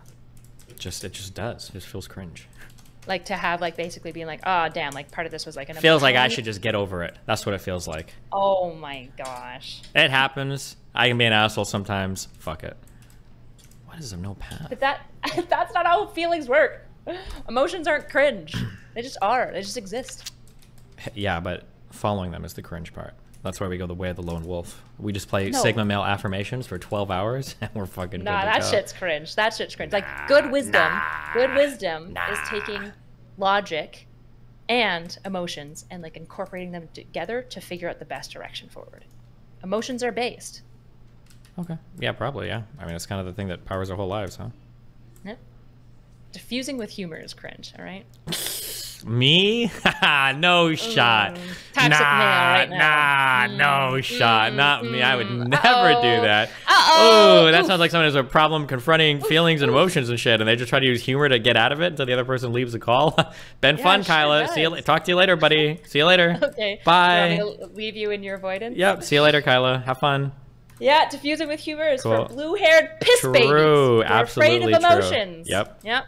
Bye. Yep. Have fun. Okay. Bye. Have See fun you later. with your emotions. Bye. Bye. Absolutely fucking destroyed. Don't ever let her come back and think she can do anything, okay? But get annihilated on my stream. This is interesting because I've had this problem with other friends. Okay, hold on, I'll tell Kyla. Hi. Hey, let me mute you on my side. Hi. Okay. Okay, so I didn't watch some of it, but I I guess he was hurt that I was his friend. No, uh, that sorry. Specifically, it sounds like. I mean, fuck. I really don't want to put words in people's mouths. I don't like being the middleman too much, but um, I think. Did you finish the the Destiny stream? No, I stopped because like I once I felt like he was dismissing me, like, oh, Brittany's too close to the subject. So I was like, okay, well, I don't I'll just talk to professionals, I guess. But let me tell you, I have this problem with friends where they're like, why aren't you giving me the benefit of the doubt? And I was like, no, no, I am. This is me giving you the benefit of the doubt. You want to see me when I don't give you the benefit of the doubt? I block you. Me giving right. you the benefit of the doubt. Because like I have friends and family that are not perfect people, Kyla. They do some pretty fucked up things. Yeah. But like they're still my friends and family. But yeah, I have to hold everyone in my life like, hey, just double checking. Are we pro rape all of a sudden? Because, like, that shit happens. And so, like, again, I'm not thinking that of Steven at all. I'm mm-hmm. just saying that the way he talks encourages his audience to say some pretty shitty things to people who have been raped.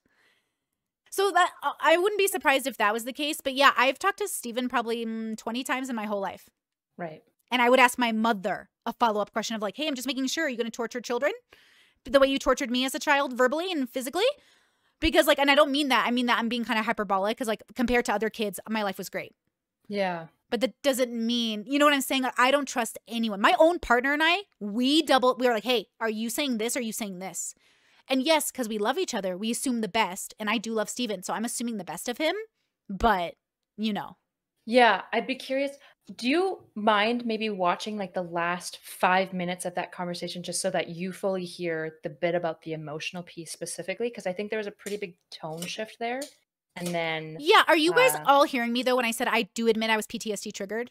Yes. Yes. Okay. Because I, I I'm aware I was in my you. fifis. Yeah. Yeah. Of course. Okay. That's why okay. I'm saying this is just a miscommunication. Like nobody did anything bad here. Re- like really, truly. Like this is just like people, humans gonna human, you know? Yeah, I really hope this isn't that big of a deal. Like, I hope we're having a normal discussion right now that's kind of heated since Steven and I never have those. This Yeah. is like a great, like, honestly, today, this is why I stream today, is I'm like, yeah, no big deal. We totally disagree. This is how I'm feeling, but like, I'm not getting validated at all. And I am validating plenty of his ideas because I agree. So that's what I am concerned about. If he's my friend, why Yeah. isn't he validating even one ounce? Right.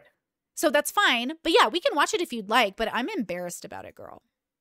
Uh the the last bit, the emotional stuff. All of it. Like me talking to Steven the other day, you mean? Oh. Oh wait, what are you talking about? Wait, why are you in- I'm just saying the last five minutes of my conversation with Steven. Oh, I'm so sorry. I thought you meant the last five five minutes of the conversation I had with him where I was emotional. No, no, no, no, no, no, no. Oh, I totally okay. sorry. I'm not emotional talking- today. Like I'm Yeah, not yeah, triggered no, I at all today. Oh, Yeah, okay, I yeah. know. Let's. I watch it. mean, yeah, the last five minutes, and then I can fix up my water. But I'm listening. okay, yeah, okay. Let me pull it up. All right. So I'm guessing you heard the piss baby comment and stuff. The annihilated comment. And, uh, yeah, and me calling him a piss baby. Oh no, I didn't. Okay, yeah, I just called him a blue-haired piss baby. Oh my gosh. Okay, so is that what you wanted me to watch? Yeah, I just wanted to make sure you saw all of that context first, so that you knew the the struggle is real with the emotions. Yeah, yeah, Uh, yeah. No, yeah, yeah. I think I agree. So here's here's kind of what I'm hearing. You do this with anyone. It has no marker of closeness of friendship. That's what I'm hearing you say. Yes, And I believe you because I know that you would ask me these questions. And I understand you in a way, especially like I understand you both logically and emotionally, that I would Thank be you. bothered. The problem is that I think for Steven, it feels different, especially because usually when his friends are asking him these types of questions, it's right before they burn the bridge with him. Mm, mm-hmm, mm-hmm. That's what I suspect is part of what's going on. I could be wrong. I'm obviously mind reading Steven a little bit, and he's uh might fight me on the emotional front, but what matters is that in this situation, he couldn't he couldn't hear you emotionally. Um, yeah. And he couldn't tell you emotionally what was going on for him. Yeah, because I don't want him to feel. I I've had this problem with even my inner circle, ride or die Yeah. people, where Yeah. they're like, "Hey, sometimes I just wish you'd be on my side." I was like, "Uh, uh not after you've done that fucked up. I'm not gonna be on nobody's side." Because Right. like the thing is, is like I think we're all individuals living in a society, so like you can individually cheat, but I'm not Right. gonna condone your behavior, bro. Yeah. And that's what like I have some friends that like, yeah, they they're not the most like sometimes they do things. Right. And so my love is saying you can still be my friend and I love you, but that doesn't mean I'm gonna fucking back down unless you negotiate a relationship where we don't talk about these things. Then cool, we'll just hang out and do bowling. Right. But uh, yeah, I don't because I like Steven so much, but like God, we don't even talk that much. like I don't know him yet. I'm still learning who he is. I can't wait to know him. But like, yeah, we don't. I don't know about him, but like we don't talk very often. Right. So there's like so much more I need to know. I don't know anything about him other than what he shares on stream. That means everyone's his friend, right? Like I need, I want more. I, if if there's an expectation of, but see, even if I knew more, that doesn't mean anything to me. Because like, yeah. So okay, That makes Oop, sense. are we disconnecting on? Oh, you're putting on your camera. You're so pretty. Wait, now your mic is muted? Question mark. Better? Hello, testing. Yes, I hear Hi, you. check, check, check. Okay. Hi. Hi. Sorry, I just put on eyebrows, so I'm good. Oh. I love that. Let me pull you on stream too, girly. Let me make sure I'm not going to dox anything. I'm so tech inept. Look, this conversation's dope because it also like puts into perspective like from my perspective it is emotional to use the you're my friend card. Hmm. But in my head, I'm like, "So? I can still be your friend and I'll visit you in prison, bros." But that doesn't mean I'm going to back off from like my personal moral-ish relationship I have with um how I feel about these things. Does that make sense? I do. I guess in my head, I don't. Th- I wouldn't expect that if somebody individually, like you, c- I could be wrong. Yeah. I would never read Steven as somebody that if say I went to him personally and privately, and was like, "Hey, I just got sexually assaulted," blah blah blah, and I tell him the whole story. Maybe I don't even go to all the details. I don't think Steven would be the type where he'd sit down and be like, "Yeah, but like, did you try to fight them?" Right, right, uh, right. You know, I I trust that Steven would respond by being like, okay, well, what what do we need? Like, cops? Do you need me to like? We, Do you want me to drive you to the hospital? I would expect that reaction, right? Very empathetic right. and forward moving of like, how do I help you next? Right. So I think what he was hearing you say is that based on his words, you were assuming that he's the type of guy that individually would sit across a rape victim and be like, yeah, but what were you wearing? And he's like, of course, of course, I'm not that person. he's like, you shouldn't have to know me that well to know that I'm obviously not that kind of person. Yeah. That's, I think, how he was feeling. Yeah. And so hmm, I guess like I have the problem is like I talk to so many kinds of people. So when Steven says things like, no, that doesn't happen in any bubble, my brain just like short circuits because I'm like, what what does that mean? Right. What does it mean it doesn't happen in any bubble when I just told you it happens? right. And so it's invalidating in a way that I'm like, so we're not agreeing on reality. So what do we do now? Do we agree to mm-hmm. disagree? Because like I don't when I hear things, I go, yeah, that probably happened to somebody. Yeah, mm-hmm. that probably happens to somebody.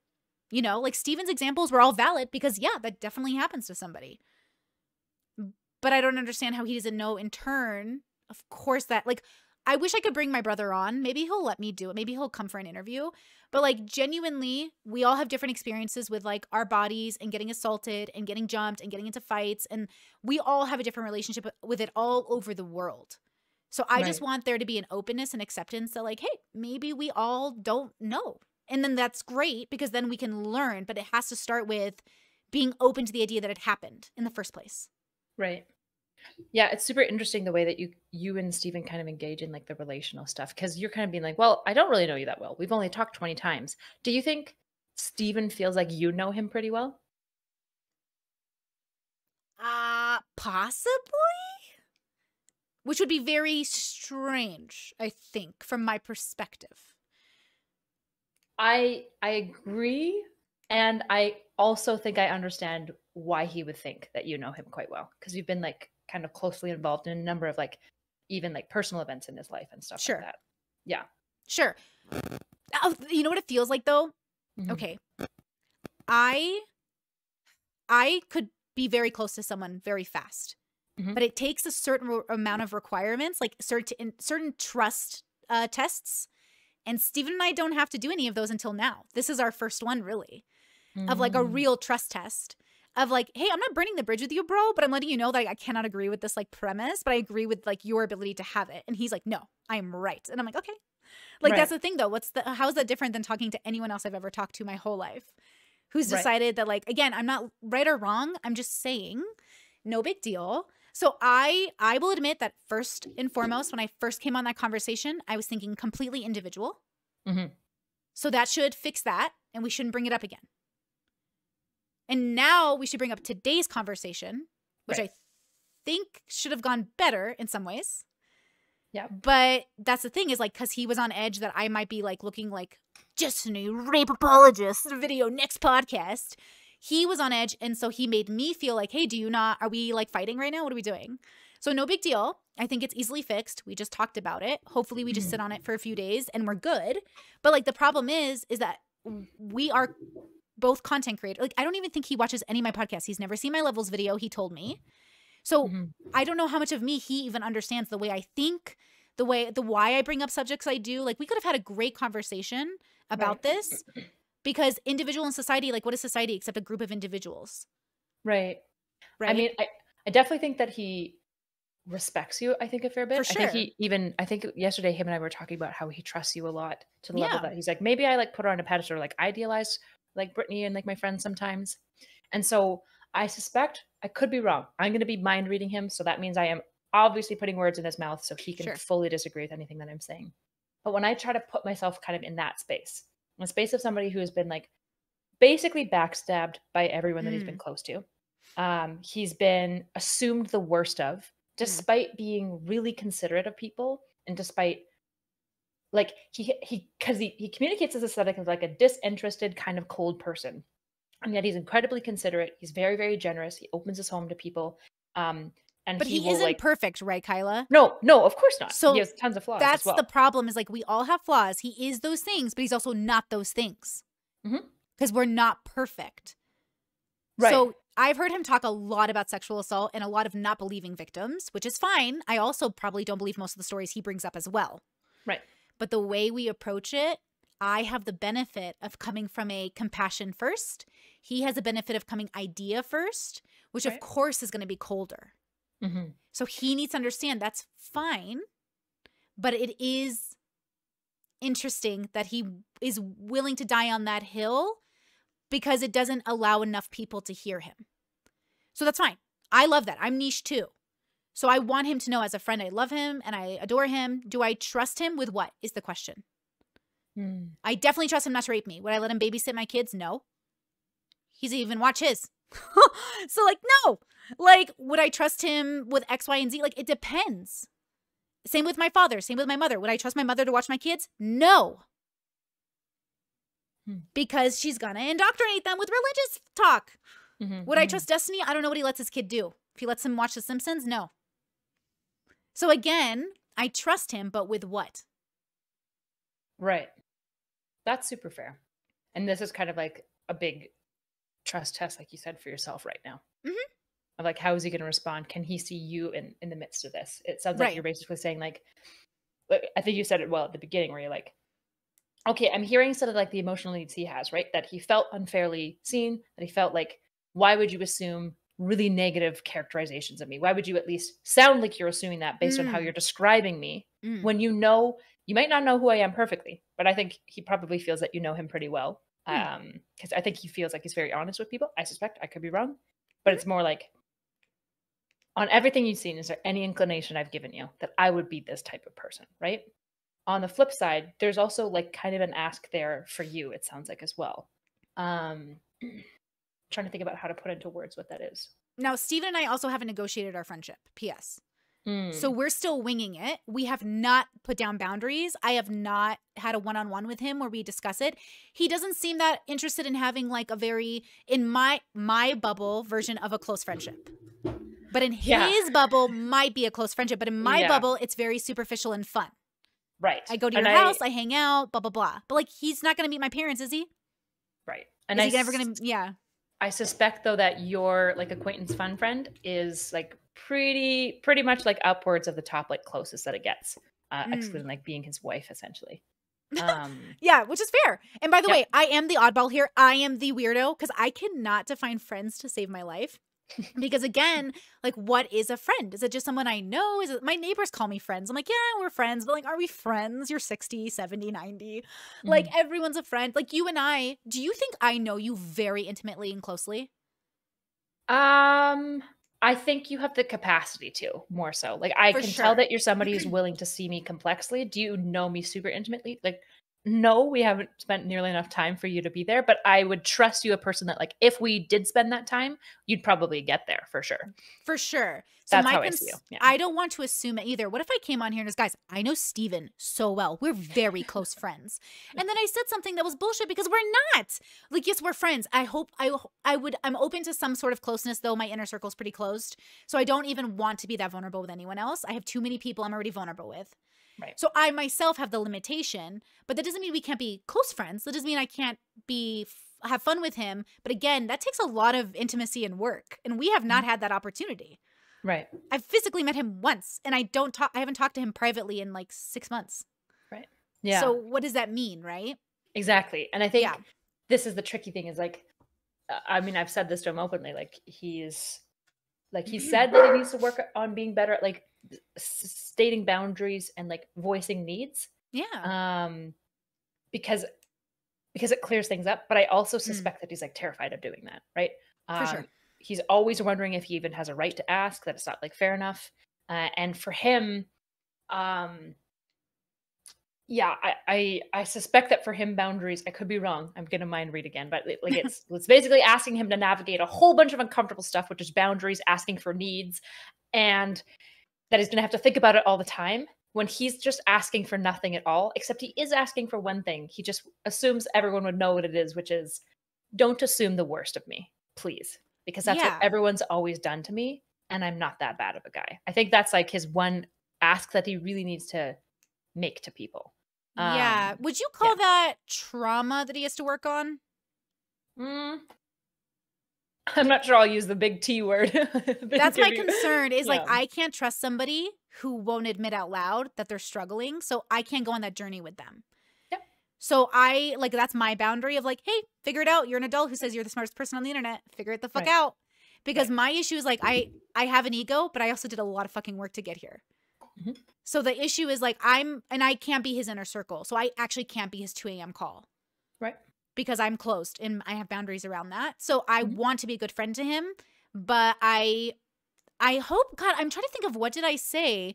I don't remember thinking he's a very bad person when I called him. I remember just being concerned about the way he was talking, but I don't remember thinking to myself like he's a bad person. Right.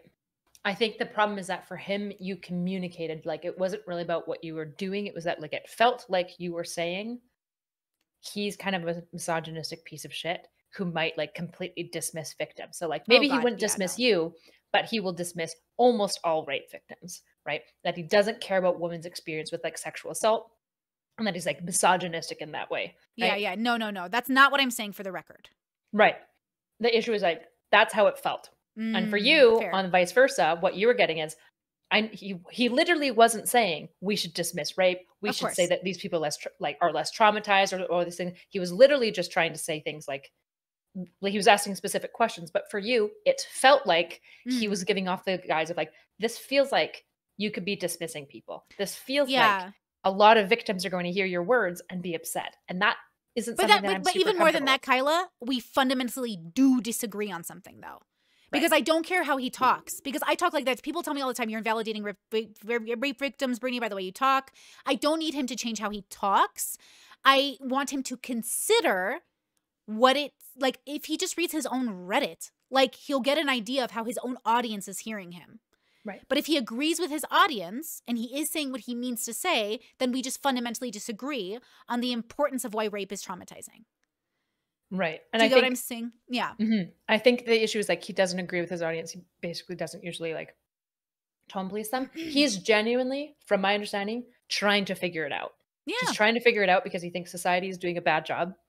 And he probably respects and trusts you enough to have a much more like nuanced, complex understanding of sexual assault and trauma in general. And he is trying for himself to tease it apart in that conversation. And For so sure. when he's asking questions that sound bad, Yeah. he, I, I think he's like hoping that you'll hear it for just the words. That was Yeah, but I- But the thing is, is like I even in this conversation now, did I not hear him and did he not clarify and do I still not disagree? Am I not allowed to disagree with my friend without being attacking him? no, of course you're allowed to disagree. Okay, because I want to clarify. Like I do disagree fundamentally. Yes. Like sexually mm. liberated women are gonna have a different experience. I mean, it is a different experience because every individual will have a different experience. Right. But I don't think you could lump some. And again, are we talking about America? Are we talking about Europe? Are we talking about the Middle East? Are we talking about because again, for me, I am so aware of all the bubbles. There's no way we're having universal experiences outside of like loving and dying and caring and sacrificing and stuff like that. So when he says no, there is a general consensus. Well, how would we have that? Who are we asking? Are we asking the world? Oh, I think you cut out there. Oh, I'm sorry. I'm here now. Can you hear me? Yep. Okay. So when he asks like, yes, we can generalize things, um I don't actually agree with that. I think we can generalize certain things to some extent. Like all gay people sleep with the same sex partners, but some Mhm. don't. you know what I mean? Like yeah, but like what does that mean? And also it does cast judgment. Mhm. So again, I'm I'm open to exploring. I want to throw shit at the wall. Um I hope we can do that in the future, but even right now, why didn't why can we do it today, do you think? I think because two things. I think he wasn't able so there's a couple things. He doesn't really care about the aesthetic itself. Like he's like, but everything that I'm saying is fair, right? He's like Hmm. he basically said, but Kyla just said everything that I just said and you agreed with me. So he's like, so we, we don't disagree, Mhm. essentially. And then there's another piece which is I think it hurt my I think it hurt my feelings that when I was saying basically more or less what was Kyla was saying, maybe not in like the most uh therapy sensitive way necessarily, like whatever he would use the language there. Mhm. It kind of hurt my feelings that Brittany would take my words and assume like the worst of my character. Not not that Hmm. you disagree with his ideas, that we'd assume the worst. Did I ever? I feel like I didn't insinuate that at all. Like zero. Even in my, even when I was upset the other day, and even like maybe my audience and I are hearing something different because I asked for their feedback. They're like, "No, dude, you were so sound like, "Yeah, you were a little upset, but like you've never talked about his character."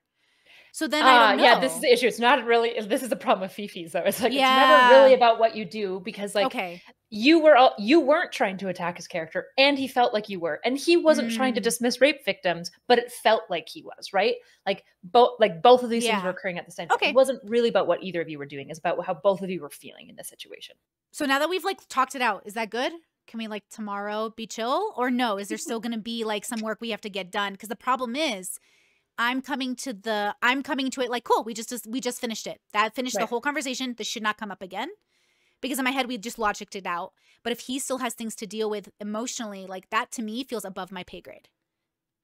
Or at least I think it's above your pay grade for like hand holding and leading it. I think like if he still has stuff that he's dealing with, I think it would be completely fair, for example, for him to be like, hey, like this is why it hurt me.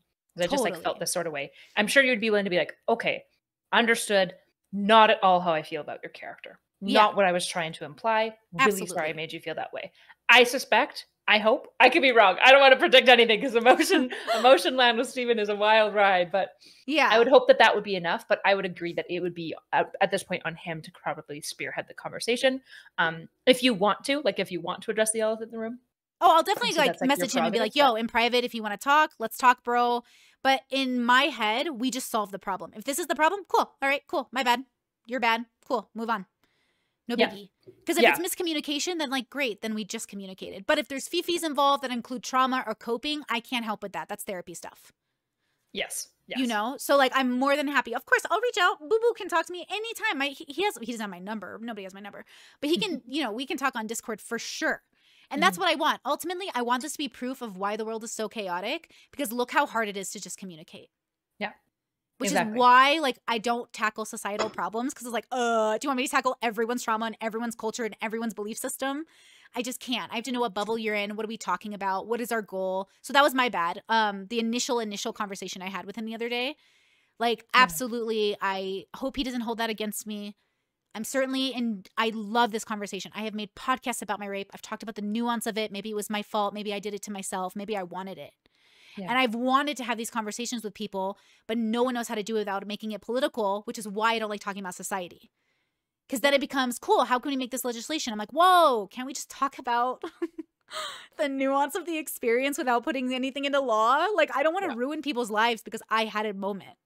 Right. But that's yeah. like, that's what Steven always wants to talk about is like society, law, institutions. Mm. Like that's politics in like institutional politics is like his kind of his grub. He's always thinking about that. Yeah. Now I will say like down.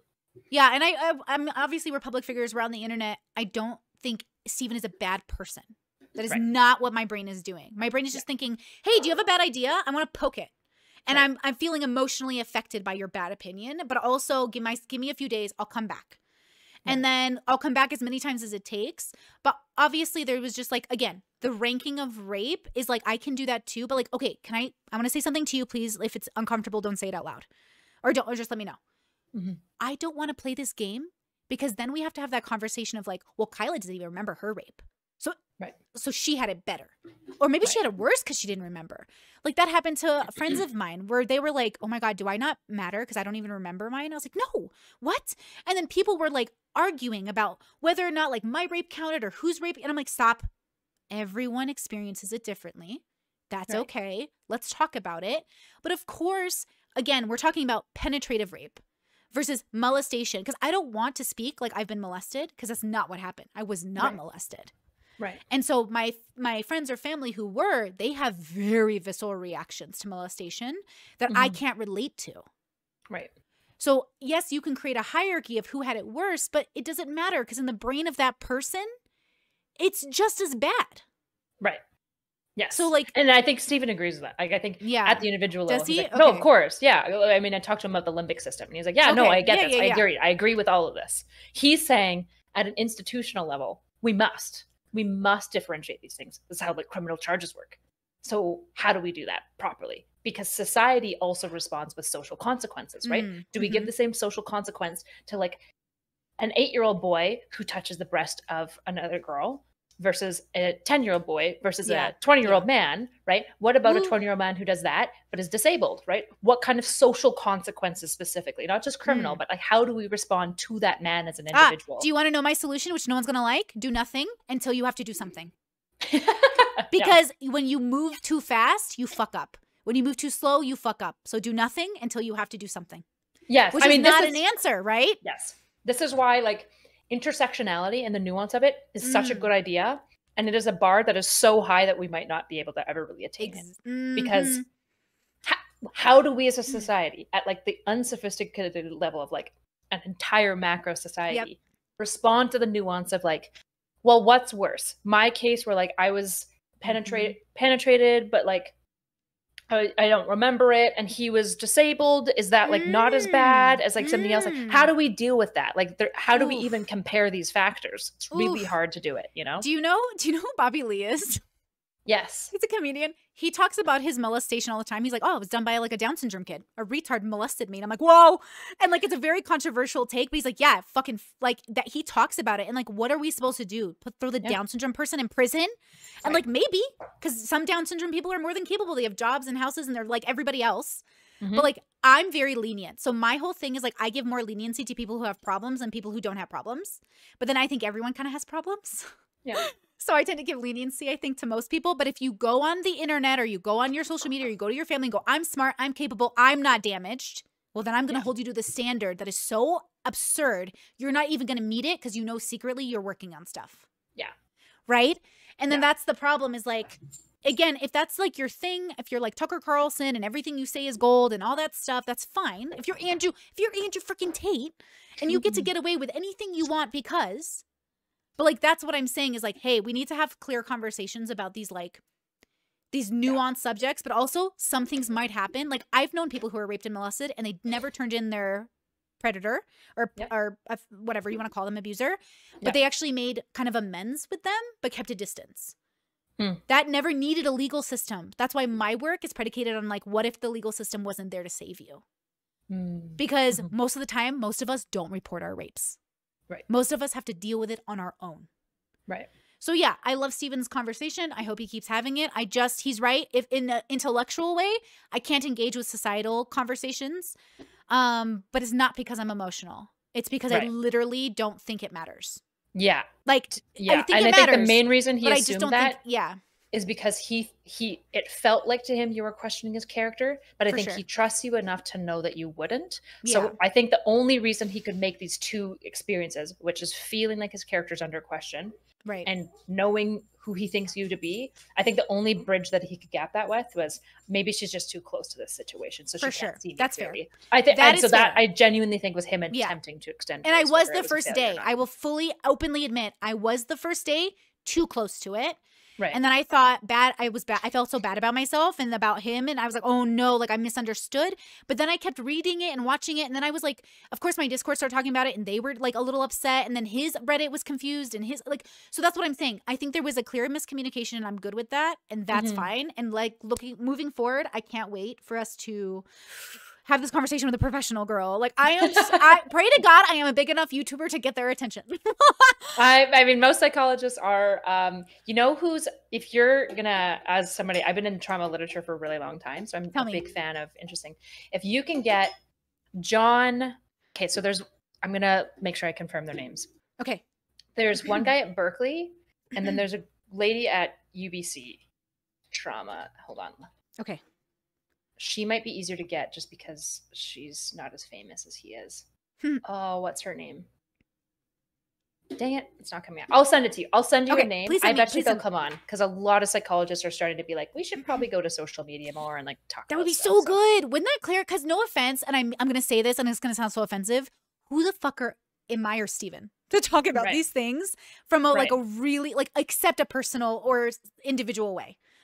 Because like Right. we're not in politics directly, we're not working in systems. We literally work from home in our bedrooms, and we never have to touch grass. Right.